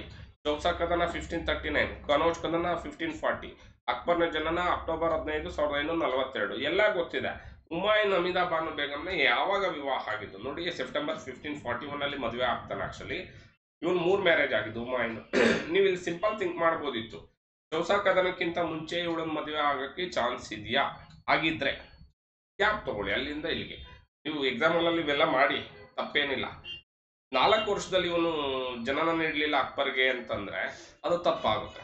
ಓಕೆ ಇವನು ಇವೆರಡು ಆದ್ಮೇಲೆ ನಲ್ವತ್ತರಿಂದ ನಲ್ವತ್ತೆರಡು, ಎರಡು ವರ್ಷ ಗ್ಯಾಪ್ ಇದೆ ಅಂದ್ರೆ ಯು ಡ್ಯೂರೇಷನ್ ಅಲ್ಲೇ ಈ ಮಗು ಆಗಿರ್ಬೋದು ಅಥವಾ ಮದುವೆ ಮಾಡ್ಕೊಂಡಿರ್ಬೋದು ಅಂತಕ್ಕಂಥ ಕಾನ್ಸೆಪ್ಟ್ ಅಲ್ಲಿ ನೀವು ಹಾಕಿದ್ರೆ ಹಾಕ್ಬೋದಿತ್ತು. ಅದನ್ನ ನಾನು ಕುಲ್ಡ್ ಮೆಥಡ್ ಅಂತ ಹೇಳ್ತಾ ಇಲ್ಲ. ನೀವು ಗೆಸ್ಸಿಂಗ್ ಅಲ್ಲಿ ನೀವು ಹಾಕ್ಬೋದಿತ್ತು ಅಂತ ಹೇಳ್ತಾ ಇದ್ದೆ. ಓಕೆನಾ ಇದು ನೋಡಿ ಅಲ್ಲಿ ಇಟ್ಟಿರೋದೆಲ್ಲ ನನ್ನ ಶಿಷ್ಯನೇ. ಓಕೆ ಅವ್ನು ಬರೆದಿರ್ತಕ್ಕಂಥ ಪೇಪರೇ ಎಷ್ಟು ಚೆನ್ನಾಗಿ ಆನ್ಸರ್ಸ್ ಅನ್ನ ಮಾಡಿದ್ದಾನೆ ಅನ್ನೋದನ್ನೇ ನೋಡ್ಕೊಂತ ಹೋಗಿ ಅಷ್ಟೇನೆ, ಅಲ್ವಾ? ಅವನು ಏನ್ ಚುಕ್ಕಿ ಇಟ್ಟಿದಾನೋ ಅಷ್ಟನ್ನು ಕೂಡ ಅವನು ಸರಿ ಹಾಕಿರ್ತಕ್ಕಂಥ ಪ್ರಶ್ನೆನೆ. ಅವನು ಎಕ್ಸಾಮ್ ಎಲ್ಲ ಕೂತ್ಕೊಂಡಾಗ ಇದೇ ಥಿಂಕ್ ಮಾಡ್ತಕ್ಕಂಥ ನೆಕ್ಸ್ಟ್ ಕೆಳಗಿನ ಪೇಶ್ವೆಗಳನ್ನ ಅವರ ಕಾಲಾನುಕ್ರಮದಲ್ಲಿ ಬರೀರಿ. ಇದು ನಾಲ್ಕು ಕ್ವಶನ್ಸ್ ರಿಪೀಟೆಡ್ ಓಕೆ ನಾಲ್ಕು ಸಾರ್ತಿ ರಿಪೀಟ್ ಆಗಿರ್ತಕ್ಕಂಥ ಪ್ರಶ್ನೆ. ನೀವು ತಪ್ಪಾಕಿದ್ದೀರಾ ಅಂದರೆ ಅದು ನೀವೇ ಜವಾಬ್ದಾರಿ ಆಪ್ಷನ್ ಡಿ ಸರಿಯಾದ ಓಕೆ ಆಕ್ಚುಲಿ ಯಾವುದೋ ಒಂದು ಗ್ರೂಪಲ್ಲಿ ಶಂಕರ್ ಸರ್ ಅಂತ ಒಬ್ರು ಹೇಳ್ತಾ ಇದ್ರು. ನೂರಕ್ಕೆ ಕ್ವಶನ್ಸ್ ಹತ್ತತ್ರ ಇದೆ ನೀವು ಸರ್ಚ್ ಮಾಡಿಲ್ಲ ಅಂತ. ಹೌದು ಸರ್ ಹೇಳ್ತಾ ಇದ್ರು. ಅವರು I think degree college lecturer ಅನ್ಸುತ್ತೆ ಆಲ್ರೆಡಿ ಅವರು ಸರ್ ಹೇಳ್ತಾ ಇದ್ರು, ಸ್ವಲ್ಪ ಗೈಡೆನ್ಸ್ ಅನ್ನ ತಗೋಬೇಕು ಸೀನಿಯರ್ಸ್ ಓಕೆ ಇವೆಲ್ಲವೂ ಕೂಡ repeated next eighty eight question number ಎಂಬತ್ತೆಂಟು ಕೂಡ ರಿಪೀಟೆಡ್ ಓಕೆ ಎಂಬತ್ತೆಂಟು ರಿಪೀಟೆಡ್ ಆಪ್ಷನ್ ಡಿ ಸರಿಯಾದ ಉತ್ತರ. ನೀವು ಪ್ರಾಕ್ಟೀಸ್ ಮಾಡಲ್ಲ ರೀ, ಅದು ಮೇನ್ ಪ್ರಾಬ್ಲಮ್ ಓಕೆ ಎಂಬತ್ತೊಂಬತ್ತನೇ ಪ್ರಶ್ನೆಗೆ ಬರ್ತಾ ಇದೀನಿ ನೋಡಿ ಆರಾಮಾಗಿ ಅಲ್ಲೆಲ್ಲೂ ಚುಕ್ಕಿನೇ ಇಟ್ಟಿಲ್ಲ. ಕಾರಣ ಏನಪ್ಪ ಅಂದ್ರೆ ಚುಕ್ಕಿ ಇಡಬಾರ್ದು. ಇಟ್ಟರೆ ಫ್ಲಾಫ್ ಆಗ್ತೀರ? ಅಲ್ವಾ? ಎಂಬತ್ತೊಂಬತ್ತನಿಗೆ ಪ್ರಶ್ನೆಗೆ ಬಂದಾಗ ಇಬ್ರಾಹಿಂ ಆದಿಲ್ ಶಾ ಅಳಿಯ ರಾಮರಾಯನ್ ಜೊತೆ ತುಂಬಾ ದೋಸ್ತಿದ್ದಂಥವನು ಹಂಗಾಗಿ ನಾನು ಇದನ್ನ ಪರ್ಟಿಕ್ಯುಲರ್ ವರ್ಡ್ ಸಿಕ್ಕಿಲ್ಲ ನನಗೆ ದತ್ತಪುತ್ರ ಅಂತ. ಬಟ್ ಅವನ ಜೊತೆ ಸಂಬಂಧ ಚೆನ್ನಾಗಿತ್ತು ಅನ್ನೋ ಉದ್ದೇಶಕ್ಕೆ ನಾನು ಆನ್ಸರ್ ಕೊಟ್ಟಿದ್ದೀನಿ. ಇದನ್ನ ನೀವು ಕೆ ಇ ಎ ಆನ್ಸರ್ನೇ ಫೈನಲ್ ಮಾಡ್ಕೊಂಡ್ರಪ್ಪ. ಇದನ್ನ ನನ್ನ ಮೇಲೆ ಡಿಪೆಂಡ್ ಆಗ್ತದೆ. ಓಕೆ ನೆಕ್ಸ್ಟ್ ಅದಾದಮೇಲೆ ಬರೋಣ. ಸಂಸ್ಕೃತದಲ್ಲಿ ಸಂಗೀತ ಬಗ್ಗೆ ಬರೆದ ಇಬ್ಬರು ವಿದ್ವಾಂಸರನ್ನು ತೆಗೆದುಕೊಂಡಾಗ ವಿದ್ಯಾರಣ್ಯರು ಬರಲ್ಲ. ಓಕೆ, ಅನೋದರಿ ಮತ್ತೆ ಕುಮಾರ ದುರ್ಜಟಿ ಇವರಿಬ್ಬರು ಬರ್ತಕ್ಕಂಥದ್ದು. ಸರ್ ಇದು ಎಲ್ಲಿತ್ತು ಸರ್, ಇದು ಆಕ್ಚುಲಿ ತುಂಬಾ ಇಂಡೆಪ್ ಪ್ರಶ್ನೆ. ನಿಮಗೆ ಕಷ್ಟ ಆಯ್ತು ಇಂಥ ಸ್ಕಿಪ್ ಮಾಡಿ. ಓಕೆ, ತಪ್ಪೇನಿಲ್ಲ. ಬಟ್ ಪಿಂಗಳಿ ಸೂರ ಓಕೆ ಪಿಂಗಳಿ ಸೂರನ ಬಗ್ಗೆ ತಿಳ್ಕೊಳ್ಳೇಬೇಕು. ಇವನು ಒಂದೇ ಒಂದು ಸಾರ್ತಿ ರಿಪೀಟ್ ಆಗಿದ್ದಾನೆ ಬಟ್ ಅವನ ಕೃತಿ ರಿಪೀಟ್ ಆಗಿಲ್ಲ. ಅವನ ಹೆಸರು ಬಂದಿದೆ ಅಂದಾಗ ಅವ್ನ ಪೂರ್ವಪರ ಎಲ್ಲ ತಿಳ್ಕೊಬೇಕಿತ್ತು. ಆಪ್ಷನ್ ಎ ಸರಿಯಾದ ಉತ್ತರ. ನೆಕ್ಸ್ಟ್ ಇದನ್ನು ತೆಗೆದುಕೊಂಡಾಗ ನೋಡಿ, ಇದು ತುಂಬ ಕಷ್ಟ ಇದೆ. ಇದರಲ್ಲಿ ನೀವು ಒಂದು ಗೆಸ್ ಮಾಡ್ಬೋದಿತ್ತು ಎಲ್ಲ ಬುಕ್ಸಲ್ಲೂ ಇದೆ. ಕೆ ಎನ್ ಅಶ್ವಥಪ್ಪ ಸರ್ ಇರ್ಬೋದು, ಸದಾಶಿವ ಸರ್ ಬುಕ್ ಅಲ್ಲಿ ಇರ್ಬೋದು, ಸ್ವಲ್ಪ ಕುಡ್ ಮೆಥಡ್ ಯೂಸ್ ಮಾಡಿ ಸಿಕ್ಸ್ಟೀನ್ ತರ್ಟಿ ಏಟ್ ಅಲ್ಲಿ ಔರಂಗಜೇಬ್ ದಿಲ್ರಾಸ್ ಬಾನು ಬೇಗಂನ ವಿವಾಹವಾದ್ರು ಅಂತ ಇದೆ. ಅದನ್ನು ಒಂದು ವರ್ಷ ಎಕ್ಸ್ಟೆಂಡ್ ಹಿಂದಕ್ಕೆ ತಗೊಳ್ಳಿ ಅಂದರೆ ಬಿಫೋರ್ ತಗೊಳ್ಳಿ ಅದನ್ನು ಒಂದನ್ನು ಹುಡಿಕೊಂಡಿದ್ರೆ ನೀವು ಇನ್ನು ಮಿಕ್ಕಿದ್ದೆಲ್ಲ ಮ್ಯಾಚ್ ಆಗ್ತಿತ್ತು. ಕಾರಣ ಇನ್ನೆಲ್ಲೂ ಇಂಬ್ಯಾಲೆನ್ಸ್ ಆಗಕ್ಕೆ ಸಾಧ್ಯ ಇರಲಿಲ್ಲ. ಇನ್ನು ಮಿಕ್ಕಿದ ನೆನಪಿರಲ್ವ, ತಲೆ ಕೆಡಿಸ್ಕೋಬೇಡಿ. ಓಕೆ ಅದೊಂದು ಗೊತ್ತಿದ್ರು ಆಗ್ಬೋದಿತ್ತು. ನೆಕ್ಸ್ಟ್ ಪೋರ್ಚುಗೀಸರೊಂದಿಗೆ ಒಪ್ಪಂದ ಮಾಡಿಕೊಂಡ ಮೊದಲ ವಿಜಯನಗರದ ರಾಜ ಕೃಷ್ಣದೇವರಾಯ. ನಮ್ಮ ಹುಡುಗ ಸಾಳ್ವ ನರಸಿಂಹ ಯಾಕೆ ಹಾಕಿದ್ದಾನೆ ಅಂತಂದ್ರೆ, ಸಾಳ್ವ ನರಸಿಂಹನ ನಂತರದಲ್ಲಿ ಕೃಷ್ಣದೇವರಾಯನ ಓಕೆ ಅಣ್ಣ ಏನ್ ಬರ್ತಾನೆ, ಅವನ ಕೂಡ ಒಪ್ಪಂದ ಮಾಡ್ಕೊಂಡಿರ್ತಾನೆ. ಅವನನ್ನು ಕೇಳಿದ್ರೆ ಬಿದ್ದೋಗ್ಬಿಡ್ತಾ ಇದ್ರೆ. ನೆಕ್ಸ್ಟ್ ತೊಂಬತ್ನಾಲ್ಕು ರಿಪೀಟೆಡ್ ತೊಂಬತ್ಮೂರು ರಿಪೀಟೆಡ್ ತೊಂಬತ್ನಾಲ್ಕು, ತುಂಬಾ ಸರ್ತಿ ರಿಪೀಟೆಡ್ ಡಿಸ್ಕ್ರಿಪ್ಷನ್ ಕೊಡ್ತಾ ಇದೀನಿ ನೋಡ್ಕೊಳ್ಳಿ. ಓಕೆ, ವಿಜಯನಗರ ಕಾಲದ ಚಿತ್ರಕಲೆಯ ಅತ್ಯುತ್ತಮ ಮಾದರಿ ಕೆಳಗಿನ ಯಾವ ಸ್ಥಳದಲ್ಲಿ ದೊರೆತಿದೆಯಪ್ಪನೇ ಲೇಪಾಕ್ಷಿಯಲ್ಲಿ ದೊರೆತಿರೋದನ್ನು ನೋಡ್ತೀವಿ. ಓಕೆ ಕೆಳಗಿನ ಸ್ಮಾರಕಗಳಲ್ಲಿ ದೌಲತಾಬಾದ್ನಲ್ಲಿ ಕಂಡು ಬರ್ತಾ ಇರ್ತಕ್ಕಂಥದ್ದು, ಓಕೆ, ಚಚ್ಚಾ ಬಚ್ಚಾ ಮತ್ತೆ ಅಹಮದ್ ನಿಜಾಂ ಶಾ ಸಮಾಧಿ. ಇದು ಕಷ್ಟ ಇದೆ ಏನಿಲ್ಲ. ಓಕೆ, ಒಂಬತ್ತಾರನೇ ಪ್ರಶ್ನೆಗೆ ನನಗೆ ಗೊತ್ತಾಗಿಲ್ಲ. ಓಕೆ, ಇದ್ರ ಬಗ್ಗೆ ಹೇಳ್ಬೇಕಂದ್ರೆ ಬ್ರಾ, ಎರಡು ಸರಿ ಇದೆ. ಇದ್ರ ಬಗ್ಗೆ ಎರಡು ಸರಿ ಇದೆ, ಇದು ನನ್ನ ಆನ್ಸರ್. ಓಕೆ ಬಿ ಸರಿಯಾದ ಉತ್ತರ, ಇದ್ರ ಬಗ್ಗೆ ಲೋ ಡೌಟ್ ಬಿ ಸರಿಯಾದ ಉತ್ತರ, ಇದ್ರ ಬಗ್ಗೆ ಯಾವುದೇ ಎರಡು ಮಾತಿಲ್ಲ. ಬಟ್ ನನಗೆ ಯಾಕೆ ಡೌಟಪ್ಪ ಅಂದ್ರೆ, ಬ್ರಾಹ್ಮಣರು ಅದು ಬಿಟ್ಬಿಟ್ಟು ಲಿಂಗಾಯತರು ಅಂತ ಕೇಳ್ಬಿಟ್ಟಿದ್ರೆ ನನ್ನ ಪಕ್ಕ ಆಗ್ತಾ ಇದೆ. ಯಾಕೆಂದ್ರೆ ಎರಡನೇ ದೇ ಕೆಸೆಟಲ್ಲಿ ಕೇಳಿದೆ ಎರಡ್ ಸಾವಿರದ ಇಪ್ಪತ್ತೊಂದು. ಎರಡನೇ ದೇವರಾಯನ ಆಸ್ಥಾನದಲ್ಲಿದ್ದಂಥ ವೀರಶೈವ ಅಥವಾ ಲಿಂಗಾಯತ ಮಂತ್ರಿಗಳು ಯಾರು ಅಂತ? ಲಕ್ಕಣ ದಂಡೇಶ್ ಒಬ್ರು ಗೊತ್ತಿರುತ್ತೆ ನಿಮ್ಗೆ ಜಕ್ಕನಾರ್ಯ ಜಕ್ಕನಾರ್ಯ ಮತ್ತೆ ಲಕ್ಕಣ ದಂಡೇಶ್ ಇಬ್ರು ಇರ್ತಾರೆ. ಬಟ್ ಇಲ್ಲಿ ಬ್ರಾಹ್ಮಣ ಕೇಳಿರೋದ್ರಿಂದ ನಾನು ಸ್ವಲ್ಪ ಗೊಂದಲಕ್ಕೀಡಾಗಿದ್ದೀನಿ. ನನ್ನ ಪ್ರಕಾರ ಎ ಮತ್ತು ಆರ್ ಎರಡೂ ಸರಿ, ಆರ್ ಏನ ಸರಿಯಾದ ವಿವರಣೆ ಆಗಿದೆ. ಎರಡೂ ಸರಿ ಇದೆ. ಕೆ ಎ ಫೈನಲ್ ಮಾಡ್ಕೊಡ್ರಪ್ಪ ತೊಂಬತ್ತೇಳನೇ ಪ್ರಶ್ನೆಗೆ ಬರ್ತಾ ಇದ್ದೀನಿ. ಓಕೆ ಇದ್ರ ಬಗ್ಗೆನೂ ಅಷ್ಟೇ ನೋ ಡೌಟ್ ಎ ಮತ್ತು ಆರ್ ಎರಡೂ ಸರಿ ಇದೆ. ಆರ್ ಏನ ಸರಿಯಾದ ವಿವರಣೆ ಕೂಡ ಆಗಿದೆ. ಇದಕ್ಕೆ ಡಿಸ್ಕ್ರಿಪ್ಷನ್ ಮತ್ತೆ ಪಿ ಡಿ ಎಫ್ ನಿಮಗೆ ಡೈರೆಕ್ಟಾಗಿ ಕೊಡ್ತೀನಿ. ನನ್ನ ಕಾಂಟ್ಯಾಕ್ಟ್ಗೆ ಅಥವಾ ನಮ್ಮ ಟೆಲಿಗ್ರಾಮ್ ಗ್ರೂಪಲ್ಲಿ ನೀವು ಬರ್ಬೋದು. ಓಕೆ ನೆಕ್ಸ್ಟ್ ಹರಿಹರನ ಸಾವು, ದೇವರಾಯನ ಸಾವು, ಸಾಳ್ವ ನರಸಿಂಹನ ಸಾವು, ಅಚ್ಯುತರಾಯನ ಸಾವು. ಇಲ್ಲಿ ಆಕ್ಚುಲಿ ಒಂದೇ ಒಂದು ಇದು ಇಸ್ವಿ ಮಿಸ್ ಮಾಡಿದಾನ ಅವನು ಆಕ್ಚುಲಿ ಓಕೆ, ಹರಿಹರನ ಸಾವು ಇಲ್ಲಿ ಬರಲ್ಲ. ಓಕೆ, ಅವ್ನು ಫಿಫ್ಟಿ ತ್ರೀವರೆಗೂ ಆಳ್ವಿಕೆಯಲ್ಲಿ ಇರ್ತಾನೆ. ಅದು ಸ್ವಲ್ಪ ರಾಂಗ್ ಆಗಿದೆ ಆಕ್ಚುಲಿ ಫೋರ್ಟೀನ್ ಫಿಫ್ಟಿ ತ್ರೀ ಅದು ರಾಂಗ್ ಆಗಿದೆ. ಬಟ್ ಅದರ್ವೈಸ್ ಇನ್ನೆಲ್ಲವೂ ಕೂಡ ಕರೆಕ್ಟ್ ಆಗಿದೆ. ಹಂಗಾಗಿ ಬ್ಯಾಲೆನ್ಸ್ ಆಗುತ್ತೆ, ಏನು ಪ್ರಾಬ್ಲಮ್ ಇಲ್ಲ. ಅವನು ಇಸ್ವಿ ತಪ್ಪು ಕೊಟ್ಟಿದ್ದಾನೆ ನೆಕ್ಸ್ಟ್ ತೊಂಬತ್ತೊಂಬತ್ತನೇ ಪ್ರಶ್ನೆಗೆ ಆ ನಾಲ್ಕು ಆಪ್ಷನ್ ಕೂಡ ಯಾವುದೂ ಸೆಟ್ ಆಗ್ತಾ ಇಲ್ಲ. ಅದಕ್ಕೆ ಸಪ್ರೇಟ್ ಆಗಿ ನಾನು ಆನ್ಸರ್ ಕೊಟ್ಟಿದ್ದೀನಿ ನೋಡಿ. ಮೂರು, ಒಂದು, ನಾಲ್ಕು, ಮೂರು, ಒಂದು, ನಾಲ್ಕು, ಎರಡು. ಸರಿಯಾದ ಉತ್ತರ ಆಗಿರುತ್ತೆ. ನೂರನೇ ಪ್ರಶ್ನೆಗೆ ಬಂದಾಗ ಇದು ಈಸಿಯೆಸ್ಟ್ ಪ್ರಶ್ನೆ ಆಪ್ಷನ್ ಎ ಸರಿಯಾದ ಉತ್ತರ ಆಗಿದೆ. ನೀವೇನೂ ಮಾಡೋದು ಬೇಡಪ್ಪ. ಈ ಕ್ವಶನ್ ಪೇಪರಲ್ಲಿ ಚುಕ್ಕಿ ಇಟ್ಕೊಂಡು ಹೋಗಿರೋಕೆ ಎಷ್ಟು ಕರೆಕ್ಟ್ ಆನ್ಸರ್ ಆಗಿದೆಯೋ ಅದನ್ನ ಬ್ಯಾಲೆನ್ಸ್ ಮಾಡಿ ಅವನಿಗೆ ಸರಿಯಾಗಿ ಆನ್ಸರ್ ಹಾಕಕ್ ಆಗ್ತಾ ಇದೆ, ನಿಮ್ಗೆ ಹಾಕಕ್ ಆಗ್ತಾ ಇಲ್ಲ ಅಂದಾಗ ಏನೋ ಒಂದು ಕೊರತೆ ಇದೆ ಅಂತ ಆ ಕೊರತೆ ಏನಪ್ಪ ಅಂತಂದ್ರೆ ರೆಗ್ಯುಲರ್ ಎಫರ್ಟ್ ಹಾಕಬೇಕು ಮತ್ತೆ ಸ್ವಲ್ಪ ನಿಮ್ಮ ಓದೋ ಮೆಟೀರಿಯಲ್ಸ್ಗಳನ್ನು ಶಾರ್ಟ್ಲಿ ಚೇಂಜ್ ಮಾಡ್ಕೊಳ್ಳಿ, ಅವುಗಳ ಜೊತೆಗೆ ಎಕ್ಸ್ಟ್ರಾ ಓದಬೇಕು ಓಕೆ ನೀವು ಸಿಂಗಲ್ ಆಗಿ ಡಿಪೆಂಡ್ ಆದಾಗ ಇದು ಕಷ್ಟ ಆಗುತ್ತೆ. ನಿಮಗೆ ಇನ್ನು ತ್ರೀ ಮಂತ್ಸಲ್ಲಿ ಒಳ್ಳೆ ಪುಸ್ತಕ ಕೊಡ್ತೀನಿ ಫ್ಯೂಚರಲ್ಲಿ ಪಿ ಯು ಕಾಲೇಜ್ ಲೆಕ್ಚರರ್ಗೆ ಮಿಸ್ ಮಾಡ್ಕೋಬಾರ್ದು, ಯಾವ ಕಾರಣಕ್ಕೂ ಮಿಸ್ ಮಾಡ್ಕೋಬೇಡಿ. ಎಲ್ಲೋ ಒಂದು ಕಡೆ ನೆಗ್ಲೆಕ್ಟ್ ಮಾಡಿದ್ದೀರಾ ನನಗೆ ಗೊತ್ತಿದೆ. ಮೂರು ಸಾವಿರದ ಇನ್ನೂರು ಜನ ಅಪ್ಲಿಕೇಶನ್ ಹಾಕಿದ್ದೀರಾ ಸಮಗ್ರ ಭಾರತದ ಪ್ರಶ್ನೋತ್ತರ ಸಮಗ್ರ ಭಾರತದ ಇತಿಹಾಸ ಪ್ರಶ್ನೋತ್ತರ ವಿವರಣಾತ್ಮಕ ಕೈಪಿಡಿ ಕೇವಲ ಸಾವಿರದ ಎಂಟುನೂರು ಜನಕ್ಕೆ ಮಾತ್ರ ರೀಚ್ ಆಗಿದೆ. ಇನ್ನು ಮಿಕ್ಕಿದವ್ರು ತೊಗೊಂಡಿಲ್ಲ ಅಂತಂದ್ರೆ ನಿಮ್ಮಲ್ಲಿ ಎಲ್ಲೋ ಒಂದು ಕಡೆ ಅದು ಕೊರತೆ ಕಾಡಿದೆ. ಓಕೆ ಬದಲಾಗಬೇಕಪ್ಪ. ನೂರ ಒಂದನೇ ಪ್ರಶ್ನೆನೂ ಅಷ್ಟೇ ಆನ್ಸರ್ ಅಲ್ಲಿ ನಾಲ್ಕು ಕೂಡ ಸೆಟ್ ಆಗ್ತಾ ಇಲ್ಲ. ಆಪ್ಷನ್ ನಾನು ಅಲ್ಲಿ ಕೊಟ್ಟಿದ್ದೀನಿ ನೋಡಿ, ಅದನ್ನು ನೋಡ್ಕೋಬೇಕು. ನೆಕ್ಸ್ಟ್ ನೂರ ಎರಡನೇ ಪ್ರಶ್ನೆಗೆ ಬಂದಾಗ ಇದೇ ಲಾಭಕ್ಕೆ ಸೊಲ್ಲ ಇದೆಯಪ್ಪ. ಈಸಿ ಪ್ರಶ್ನೆ, ಸಲ್ಬಾಯ್ ಒಪ್ಪಂದ. ನೂರ ಮೂರನೇ ಪ್ರಶ್ನೆ ಕೂಡ ತುಂಬಾ ಇಂಪಾರ್ಟೆಂಟು ಮಚಿಲಿಪಟ್ಟಣ ಗೊತ್ತಾಗುತ್ತೆ ಸರ್ ಪೇಟ್ ಪುಲಿ ಗೊತ್ತಿಲ್ಲ. ಮಚಿಲಿಪಟ್ಟಣ ಬಿಟ್ಟು ಜಿಂಜಿ, ಸತಾರ ಯಾವುದೂ ಇಲ್ಲ. ಆ ಒಂದು ಬೇಸ್ ಮೇಲೆ ನಾವು ಹಾಕ್ಬೋದು ಅಷ್ಟೇ ಓಕೆ ಪೋರ್ಚುಗೀಸರ ಎರಡು ಹಣ್ಣುಗಳು ತೆಗೆದುಕೊಂಡಾಗ ಪಪ್ಪಾಯ, ಅನಾನಸ್ ಎರಡು ಬರುತ್ತೆ, ಮಾವುನು ಬರುತ್ತೆ. ಈ ಪಪ್ಪಾಯ, ಅನಾನಸ್, ಮಾವು. ಈ ಮೂರು ಹಣ್ಣುಗಳು ಕೂಡ ಅವ್ರದೇ ಬರುತ್ತೆ. ಆದ್ರೆ ಮಾವಿನ ವಿಷಯಕ್ಕೆ ಬಂದಾಗ ಇದು ಗೋವಾದಿಂದ ಪೋರ್ಚುಗಲ್ ನಡುವಿನ ಸಂಬಂಧವನ್ನ ಸೂಚಿಸ್ತಾ ಇದೆ. ಹಾಗಾಗಿ ಗೋವಾದಿಂದ ಬ್ರೆಜಿಲ್, ಗೋವಾದಿಂದ ಬ್ರೆಜಿಲ್ನ ನಡುವಿನ ಸಂಬಂಧವನ್ನ ಸೂಚಿಸೋದು ಮಾವು. ಆ ಒಂದು ವಿಷಯಕ್ಕೋಸ್ಕರ ಈ ಮೂರು ಅವ್ರದೇ ಆದ್ರೂ ನಾವು ಅದನ್ನ ಪರ್ಟಿಕ್ಯುಲರ್ ಆಗಿ ಡಿಲೀಟ್ ಮಾಡಿಕೊಂಡು ಪಪಾಯಿ ಮತ್ತು ಅನಾನಸ್ ಎರಡು ಕೂಡ ಸರಿಯಾದ ಉತ್ತರವನ್ನು ಹಾಕ್ಬೋದಾಗಿದೆ. ನೆಕ್ಸ್ಟ್ ಇದು ಎಫ್ ಡಿ ಎನ್ ಅಲ್ಲಿ ರಿಪೀಟೆಡ್ ಜಾನ್ ರಿಪೀಟೆಡ್ ಪ್ರಶ್ನೆ, ಇದನ್ನು ಹಾಕ್ಬೋದಿತ್ತು ಇಷ್ಟರಲ್ಲಿ ಹಾಕಿಲ್ಲ ನಾವು. ಇಷ್ಟರಲ್ಲಿ ಹಾಕಿಲ್ಲ. ಬಟ್ ನಿಮ್ಮ ಹಿಸ್ಟ್ರಿಯಲ್ಲಿ ಇಂಡೆಪ್ತ್ ಹೋದಾಗ ವಚನ ಸಾಹಿತ್ಯದಲ್ಲಿ ನಿಮಗೆ ಸಿಗ್ತಕ್ಕಂಥ ಪ್ರಶ್ನೆ ಆಪ್ಷನ್ ಎ ಸರಿಯಾದ ಉತ್ತರ. Next nation archives of India ಇರುವ ಸ್ಥಳ ನವದೆಹಲಿ. ಓಕೆ ಸಾವಿರದ ಏಳ್ನೂರ ಅರವತ್ತೇಳರಲ್ಲಿ ಬಂಗಾಳದ ಮೊದಲ ಗವರ್ನರ್ ಜನರಲ್ ಯಾರು ಅಂತ ಇದೆ? ರಾಬರ್ಟ್ ಕ್ರೇಜ್ ನಾನು ಹಾಕಿದ್ದೀನಿ. ರಾಬರ್ಟ್ ಕ್ಲೈವ್ ಆಗಬೇಕು. ರಾಬರ್ಟ್ ಕ್ರೇಜ್ ಕಾರಣ ಏನಪ್ಪಾ ಅಂದ್ರೆ ಸಾವಿರದ ಏಳ್ನೂರ ಅರವತ್ತೇಳರಲ್ಲಿ ಬಂಗಾಳ ಗವರ್ನರ್ ಆಗಿದ್ದವನು ರಾಬರ್ಟ್ ಕ್ಲೈವೇನೆ.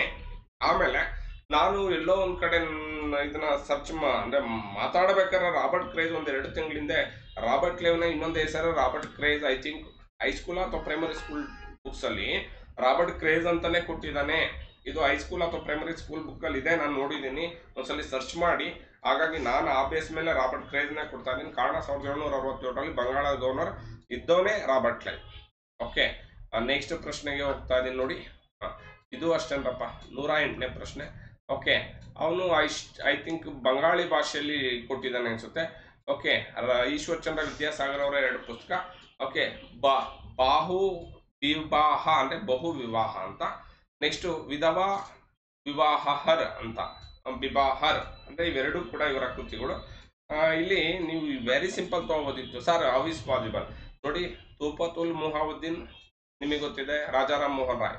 ನೋಡಿ, ಒಂದು ಆಪ್ಷನ್ ತಗೊಳ್ಳಿ, ಇಲ್ಲಿದೆ, ಇದರಲ್ಲೂ ಇದೆ ಇದರಲ್ಲೂ ಇದೆ. ಈ ಮೂರು ಬಂದ ಮೇಲೆ ಬಹು ವಿವಾಹವನ್ನು ಗೊತ್ತಾಗಿದ್ರು ಸಾಕಾಗಿತ್ತು.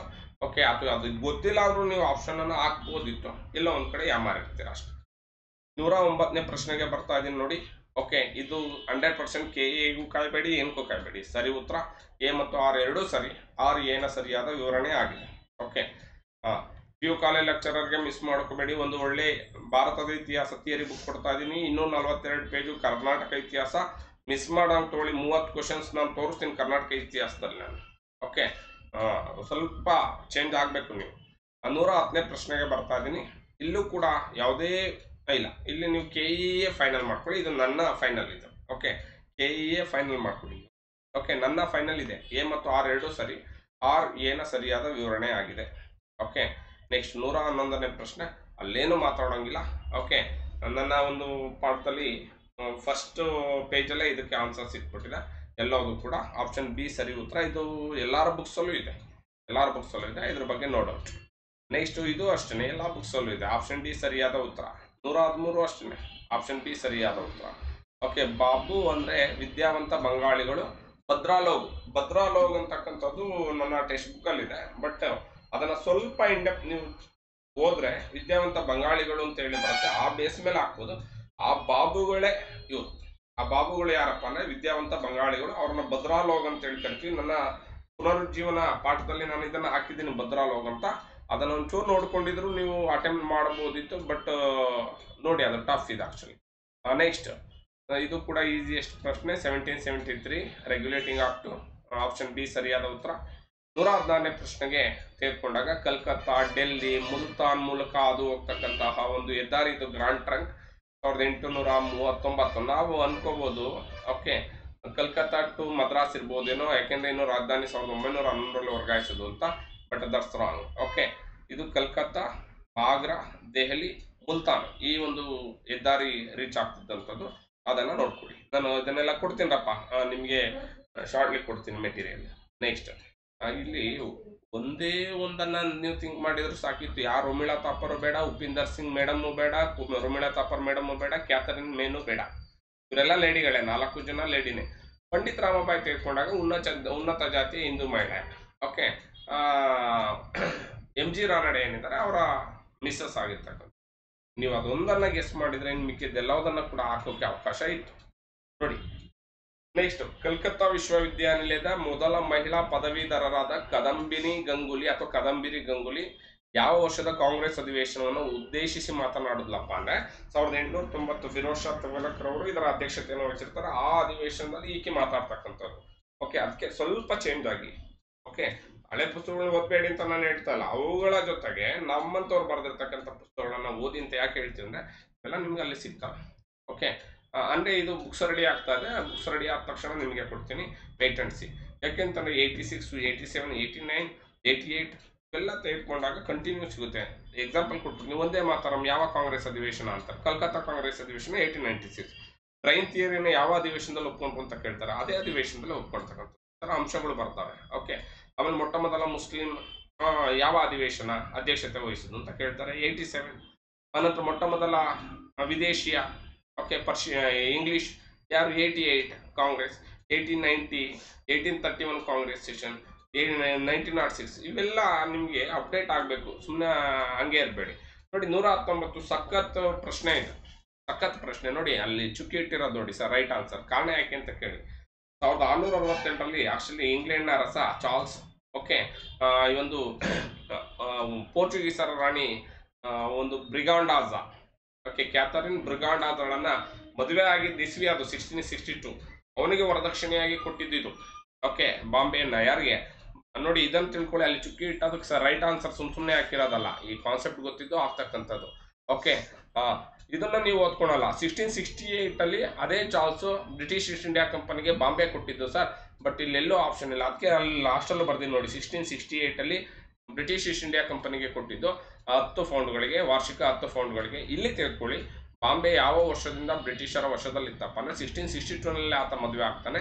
ಮದುವೆ ಆದ ತಕ್ಷಣದಲ್ಲೇ ವರದಕ್ಷಿಣೆಯಾಗಿ ಸಿಕ್ಕಿರುತ್ತೆ ಅದು. ಇದನ್ನೆಲ್ಲ ಕೂಡ ಕೊಡ್ತೀನಪ್ಪ ವೆಯ್ಟ್ ಅಂಡ್ಸಿ ನೀವು ಬದಲಾಗ್ತೀನಿ ಅಂದ್ರೆ ಕೊಡ್ತೀನಿ. ಬದಲಾಗಬೇಕು ಸಂಪೂರ್ಣ ಬದಲಾಗಬೇಕು. ನೂರ ಇಪ್ಪತ್ತನೇ ಪ್ರಶ್ನೆಗೆ ತೆಗೆದುಕೊಂಡಾಗ, ನೋಡಿ, ಅಚ್ಯುತ ಪಟವರ್ಧನ್ ಆಮೇಲೆ ಬರ್ತಾರೆ. ನೈನ್ಟೀನ್ ತರ್ಟಿ ಫೋರಲ್ಲಿ ಸ್ಥಾಪನೆ ಆದಾಗ ಅಚ್ಯುತ ಪಟವರ್ಧನ್ ಇರಲ್ಲ. ಅಶೋಕ್ ಮೆಹ್ತಾ ಇರ್ತಾರೆ, ಇನ್ನು ಬೇರೆ ಬೇರೆಯವರೆಲ್ಲರೂ ಕೂಡ ಇರ್ತಾರೆ. ಅಚ್ಯುತ ಪಟವರ್ಧನ್ ಆನಂತರದಲ್ಲಿ ಬರ್ತಾರೆ. ಅಚ್ಯುತ ಪಟವರ್ಧನ್ ಮತ್ತು Ashok Mehta right answer okay option B ಸರಿಯಾದ ಉತ್ತರ. ಓಕೆ ನೆಕ್ಸ್ಟ್ ನೂರ ಇಪ್ಪತ್ತೊಂದನೇ ಪ್ರಶ್ನೆ ಬರ್ತಾ ಇದ್ದೀನಿ ಇದು ನನ್ನ ಓನಾಗಿ ಹಾಕಿದ್ದೀನಪ್ಪ, ಇದು ನನಗೆ ಹಂಡ್ರೆಡ್ ಪರ್ಸೆಂಟ್ ಅನ್ಸಿದೆ. ಕೆ ಇ ಬಿಟ್ಟಾಗ ನೀವು ಫೈನಲ್ ಮಾಡ್ಕೊಳ್ಳಿ. ಅಲ್ಲಿವರೆಗೂ ನಾನು ಏನೇನು ಹೇಳ ಬಟ್ ಇದು ಹಂಡ್ರೆಡ್ ಪರ್ಸೆಂಟ್ ನನ್ನ ಪ್ರಕಾರ hundred percent okay option B A ಮತ್ತು ಆರ್ ಎರಡೂ ಸರಿ. ಆರ್ ಏನೋ ಸರಿಯಾದ ವಿವರಣೆ ಆಗಿದೆ. ಒನ್ ಟ್ವೆಂಟಿ ಟು ಇಲ್ಲಿ ತೆಗೆದುಕೊಂಡಾಗ ಇದನ್ನು ಕೂಡ ನೀವು ನನ್ನ ಒಂದು ಆಪ್ಷನ್ನಲ್ಲಿ ಹಾಕಿರೋದು. ಓಕೆ ನನ್ನ ಒಂದು ಎಕ್ಸ್ಪೀರಿಯನ್ಸಲ್ಲಿ ಇದು ಎ ಸರಿಯಲ್ಲ ಆರ್ ಸರಿಯಾಗಿದೆ ಓಕೆ ನೆಕ್ಸ್ಟ್ ಆರ್ಟಿಕಲ್ ಇದು question number one twenty three ಇಲ್ಲಿ ನೋಡ್ರಿ ಬಿಲ್ ದಂಗೆ ಕೋಲಿ ದಂಗೆ ಕೊಲ್ಲಾಪುರ ದಂಗೆ ಕಚ್ಚು ದಂಗೆ ಅಲ್ಲಿ ಇಸ್ವಿಗಳನ್ನ ಹಾಕಿದ್ದೀನಿ. ಆ ಬೇಸ್ ಮೇಲೆ ನೋಡಿ ಕಚ್ಚು ದಂಗೆ ಏನಿದೆ? ಕಚ್ಚು ದಂಗೆ nineteen thirty seven thirty one thirty ಟೂನಲ್ಲೂ ಬರುತ್ತೆ ಏಯ್ಟೀನ್ ಸಿಕ್ಸ್ಟೀನ್ ತರ್ಟಿ ಟೂನಲ್ಲಿ ಸಿಕ್ಸ್ಟೀನ್ ಟು ತರ್ಟಿ ಟೂನಲ್ಲೂ ಬರುತ್ತೆ. ನೀವೇನಾದ್ರೂ ನೈನ್ಟೀನ್ ತರ್ಟಿ ಸೆವೆನ್ ಕಚ್ಚಿದಂಗೆ ಹಾಕೊಂಡಾಗ ಪ್ರಾಬ್ಲಮ್ ಆಗುತ್ತೆ. ಕಚ್ಚಿದಂಗೆ ಸಿಗಲ್ಲ ಸರ್ ಆಯ್ತು ಟೆಕ್ಸ್ಟ್ ಬುಕ್ಕಲ್ಲಿ ಸಿಗ್ತಲ್ಲ ತಲೆ ಕೆಡಿಸ್ಕೊಂಡು ಕೋಲಿದಂಗೆನೂ ಸಿಗ್ತಾ ಇಲ್ಲ, ಬೇಡ, ಅದನ್ನು ತಲೆ ಕೆಡಿಸ್ಕೊಂಡು ಬಟ್ ಬಿಲ್ದಂಗೆ ಸಿಕ್ತಿತ್ತಲ್ವಾ ಓಕೆ ಆ ಬಿಲ್ದಂಗೆನ ಗೆಸ್ ಮಾಡಿದ್ರೆ ನೀವು ಹಾಕ್ಬೋದಿತ್ತಲ್ವಾ? ಆನಂತರ ಕೊಲ್ಲಾಪುರ ದಂಗೆಗಳನ್ನು ಇಟ್ಕೊಂಡಾಗ ದಕ್ಷಿಣ ಭಾರತದ ದಂಗೆಗಳಂತ ಬರ್ತಿತ್ತು. ಅಲ್ಲಿ ಆಗ್ತಕ್ಕಂಥದ್ದಂಗೆ ಪಾಪ ಇದು ಕಷ್ಟ ಇದೆ, ನಾನು ಇದನ್ನ ಬ್ಲೇಮ್ ಮಾಡಲ್ಲ. ಓಕೆ ಅದು ಬಂದು ಎ ಆಪ್ಷನ್ ಎ ಸರಿಯಾದ ಉತ್ತರ. ಇನ್ನ ಸಾಮಾಜಿಕ, ಧಾರ್ಮಿಕ ಚಳುವಳಿ, ಇದು ಕೂಡ ಟಫ್ ಇದೆ. ಓಕೆ ಆಪ್ಷನ್ ಬಿ ಸರಿಯಾದ ಉತ್ತರ. ಕೊನೆಯ ಪ್ರಶ್ನೆ ತೆಗೆದುಕೊಂಡಾಗ ಆಪ್ಷನ್ ಬಿ ಸರಿಯಾದ ಉತ್ತರ ಆಗಿರ್ತಕ್ಕಂಥದ್ದು ನೋಡ್ತೀವಿ. ಇನ್ಮೇಲಾದರೂ ಚೇಂಜ್ ಆಗಿ ಸಮಗ್ರ ಭಾರತದ ಇತಿಹಾಸ ನಾನೇ ಬರೆದಿರ್ತಕ್ಕಂಥದ್ದು ತಮ್ಮ ಎಸ್ ಆತರ್ ಓಕೆ, ನಾನೇ ಬರೆದಿರ್ತಕ್ಕಂಥದ್ದು. ಇದರಲ್ಲಿ ಆರು ಸಾವಿರ ಕ್ವಶನ್ ವಿತ್ ಡಿಸ್ಕ್ರಿಪ್ಷನ್ ಇದೆ ಚಾಪ್ಟರ್ ವೈಸ್ ಇದೆ ಟಾಪಿಕ್ ಇದೆ. ಫಸ್ಟ್ ಇನ್ನು ಇನ್ನು ಮುಂದಾರು ಚೇಂಜ್ ಆಗಿ, ಯಾಕೆಂದ್ರೆ ಇದು ನಿಮ್ಮ ಕೊನೆಯ ಎಕ್ಸಾಮ್ ಏನಲ್ಲ. ಮತ್ತೆ ಪಿ ಯು ಕಾಲೇಜ್ ಲೆಕ್ಚರರ್ ಇದೆ. ಫ್ಯೂಚರಲ್ಲಿ ಮತ್ತೆ ಡಿಗ್ರಿ ಕಾಲೇಜ್ ಲೆಕ್ಚರರ್ ಮತ್ತೆ ಎನಿ ಕಾಂಪಿಟೇಟಿವ್ ಎಕ್ಸಾಮ್ಸ್ಗೆ ಯೂಸ್ ಆಗ್ತಕ್ಕಂಥ ನೋಡಿ, ನಾನು ಶಾರ್ಟ್ಲಿ ಇದರಲ್ಲಿ ಮೂವತ್ತರಿಂದ ಮೂವತ್ತೆರಡು ಕ್ವಶನ್ ಇನ್ನೂ ನಲವತ್ತೆರಡು ಪೇಜಲ್ಲಿ ತೋರಿಸ್ತೀನಿ. ಟೂ ಫಾರ್ಟಿ ಟೂ ಪೇಜಲ್ಲಿ ಈ ಒಂದು ನನ್ನ ಪುಸ್ತಕದಲ್ಲಿ ತೋರಿಸ್ತೀನಿ. ಏಳರಿಂದ ಎಂಟು ವಿಷಯಗಳು, ಅಂದರೆ ಲೈನ್ಗಳು ತಪ್ಪಾಗಿದೆ. ಅದಕ್ಕೆ ನಾನು ಎಕ್ಸ್ಕ್ಯೂಸ್ ಕೇಳೋಂಥ ನೆಸೆಸಿಟಿ ಏನಿಲ್ಲ. ಕಾರಣ ಏನಪ್ಪ ಅಂದರೆ ಆಗ್ತವೆ. ಪುಸ್ತಕ ಬರಿಬೇಕು ಅಂದಾಗ ಆಗುತ್ತೆ. ಆಮೇಲೆ ಕೆಲವೊಂದು ಇಸ್ವಿಗಳು ಬೇರೆ ಆಗಿಬಿಟ್ಟಿದ್ದಾವೆ ಅಂದರೆ ಡಿ ಡಿ ಪಿ ಮಿಸ್ಟೇಕ್ ಆಗಿದೆ ಹೊರತು. ಅಲ್ಲಿ ನಾನು ಬೇಕು ಅಂತ ಯಾವುದು ಮಾಡಿರೋದಲ್ಲ. ಬಟ್ ಎಕ್ಸಾಮಿಗೆ ಮೂವತ್ತು, ಮೂವತ್ತೆರಡು ಕ್ವಶನ್ ಬರ್ತಾ ಇರ್ಬೇಕಾದ್ರೆ ಯಾಕೆ ಯುಟಿಲೈಸ್ ಮಾಡ್ಕೋಬಾರ್ದು? ತಪ್ಪಿರುತ್ತೆ, ತಪ್ಪನ್ನು ಕ್ಷಮಿಸಬೇಕು, ಒಳ್ಳೇದಿರೋದನ್ನು ತಗೊಳ್ಳೇಬೇಕು. Okay two forty two pages just two forty rupees ನೀವೇನೇನು invest ಮಾಡಿರ್ತೀರಾ? ಇದೊಂದು ಬುಕ್ಸ್ ತೊಗೊಂಡು ಓದ್ಕೊಂಡಿರಲ್ಲ, ಅಲ್ಲಿ ಫ್ಲಾಪ್ ಆಗಿರುತ್ತೆ. ಓಕೆ ನೋಡಿ ಶಾರ್ಟ್ಲಿ ಈಗ ಸ್ಪರ್ಧಾ ವಿಕಾಸ, ಸ್ಪರ್ಧಾತ್ಮಕ ಪರೀಕ್ಷೆಗಳ ತರಬೇತಿ ಕೇಂದ್ರ ಮದಡೇರಿ ಸರ್ಕಲ್ ಯಲಹಂಕ, ನ್ಯೂಟೌನಲ್ಲಿ ಇವತ್ತಿಂದ G P S T R ಅಂದರೆ ಹೈಯರ್ ಪ್ರೈಮರಿ ಸ್ಕೂಲ್ ಟೀಚರ್ಗೆ ಕ್ಲಾಸಸ್ ಸ್ಟಾರ್ಟ್ ಆಗಿದೆ. ಮತ್ತೆ ಇಲ್ಲಿ ಎಲ್ಲಾ ಪುಸ್ತಕಗಳನ್ನ ನಾನು ಬಿಡುಗಡೆ ಮಾಡ್ತಾ ಇದ್ದೀನಿ. ಇದಕ್ಕೆ ಸಂಬಂಧಪಟ್ಟಂತೆ ಜಿ ಪಿ ಟಿ ಸಂಬಂಧಪಟ್ಟಂತೆ ಇಂಗ್ಲಿಷ್ ಶಿಕ್ಷಕರನ್ನ ಹೊರತುಪಡಿಸಿ ಎಲ್ಲ G S paper first paper ಏನಿದೆ ಅದು ಥರ್ಡ್ ಪೇಪರ್ ಕನ್ನಡ, ಮತ್ತೆ ಸೆಕೆಂಡ್ ಪೇಪರ್ ನಿರ್ದಿಷ್ಟ ಪತ್ರಿಕೆ. ಅದರಲ್ಲಿ ಸೈ ಸೋಷಿಯಲ್ ಸೈನ್ಸ್ ಟೀಚರ್ ಇರ್ಬೋದು, ಹಾಗೆ ಮ್ಯಾಥಮೆಟಿಕ್ಸ್ ಅಂಡ್ ಸೈನ್ಸ್ ಟೀಚರ್ ಈ ಇಬ್ಬರು ಟೀಚರ್ಗೆ ಕೊಡ್ತಾ ಇದ್ದೀನಿ. ಇಂಗ್ಲಿಷ್ ಟೀಚರ್ಗೆ ಯಾಕೆ ಕೊಡ್ತಾ ಇಲ್ಲ ಅಂದರೆ, ಅದು ಕಡಿಮೆ ಸ್ಟೂಡೆಂಟ್ ಇರ್ತಾರೆ, ನಾವು ರಿಸಿಪ್ಟ್ ತೊಗೊಳೋದು ಬೇಡ ಅಂತೇಳಿ ಅದನ್ನು ಡ್ರಾಪ್ ಮಾಡಿದ್ದೀನಿ. ಕ್ಲಾಸಸ್ಸನ್ನು ಇನ್ಮೇಲೆ ಅದ್ರ ಬದಲಾಗಿ ಚೇಂಜ್ ಆಗಿ ಯುಟಿಲೈಸ್ ಮಾಡ್ಕೊಳ್ಳಿ. ಆಮೇಲೆ ಎಲ್ಲ ಕಾಂಪಿಟೇಟಿವ್ ಎಕ್ಸಾಮ್ಸ್ಗೂ ಕೂಡ ಎಲ್ಲ ಪುಸ್ತಕಗಳನ್ನು, ಈ ಕ್ವಶನ್ ಬ್ಯಾಂಕ್ಸ್ಗಳನ್ನು ಮಾಡಿದ್ದೀನಿ with description chapter wise economics ಬಿಟ್ಟು ಅದನ್ನು ಕೂಡ ಯೂಸ್ ಮಾಡ್ಕೊಳ್ಳಿ.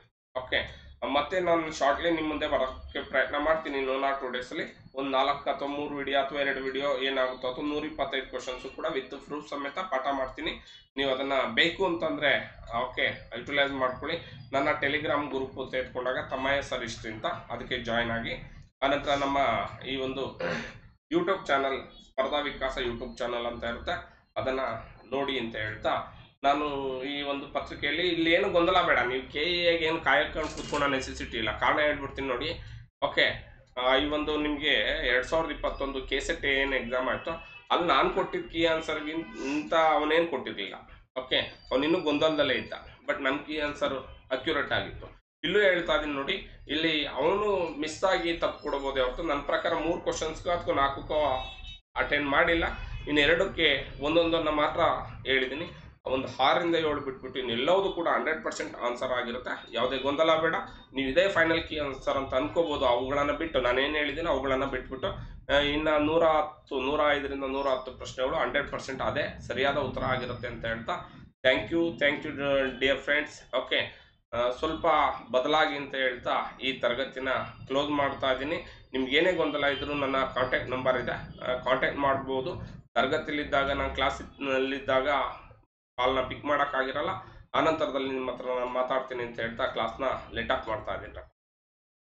Thank you all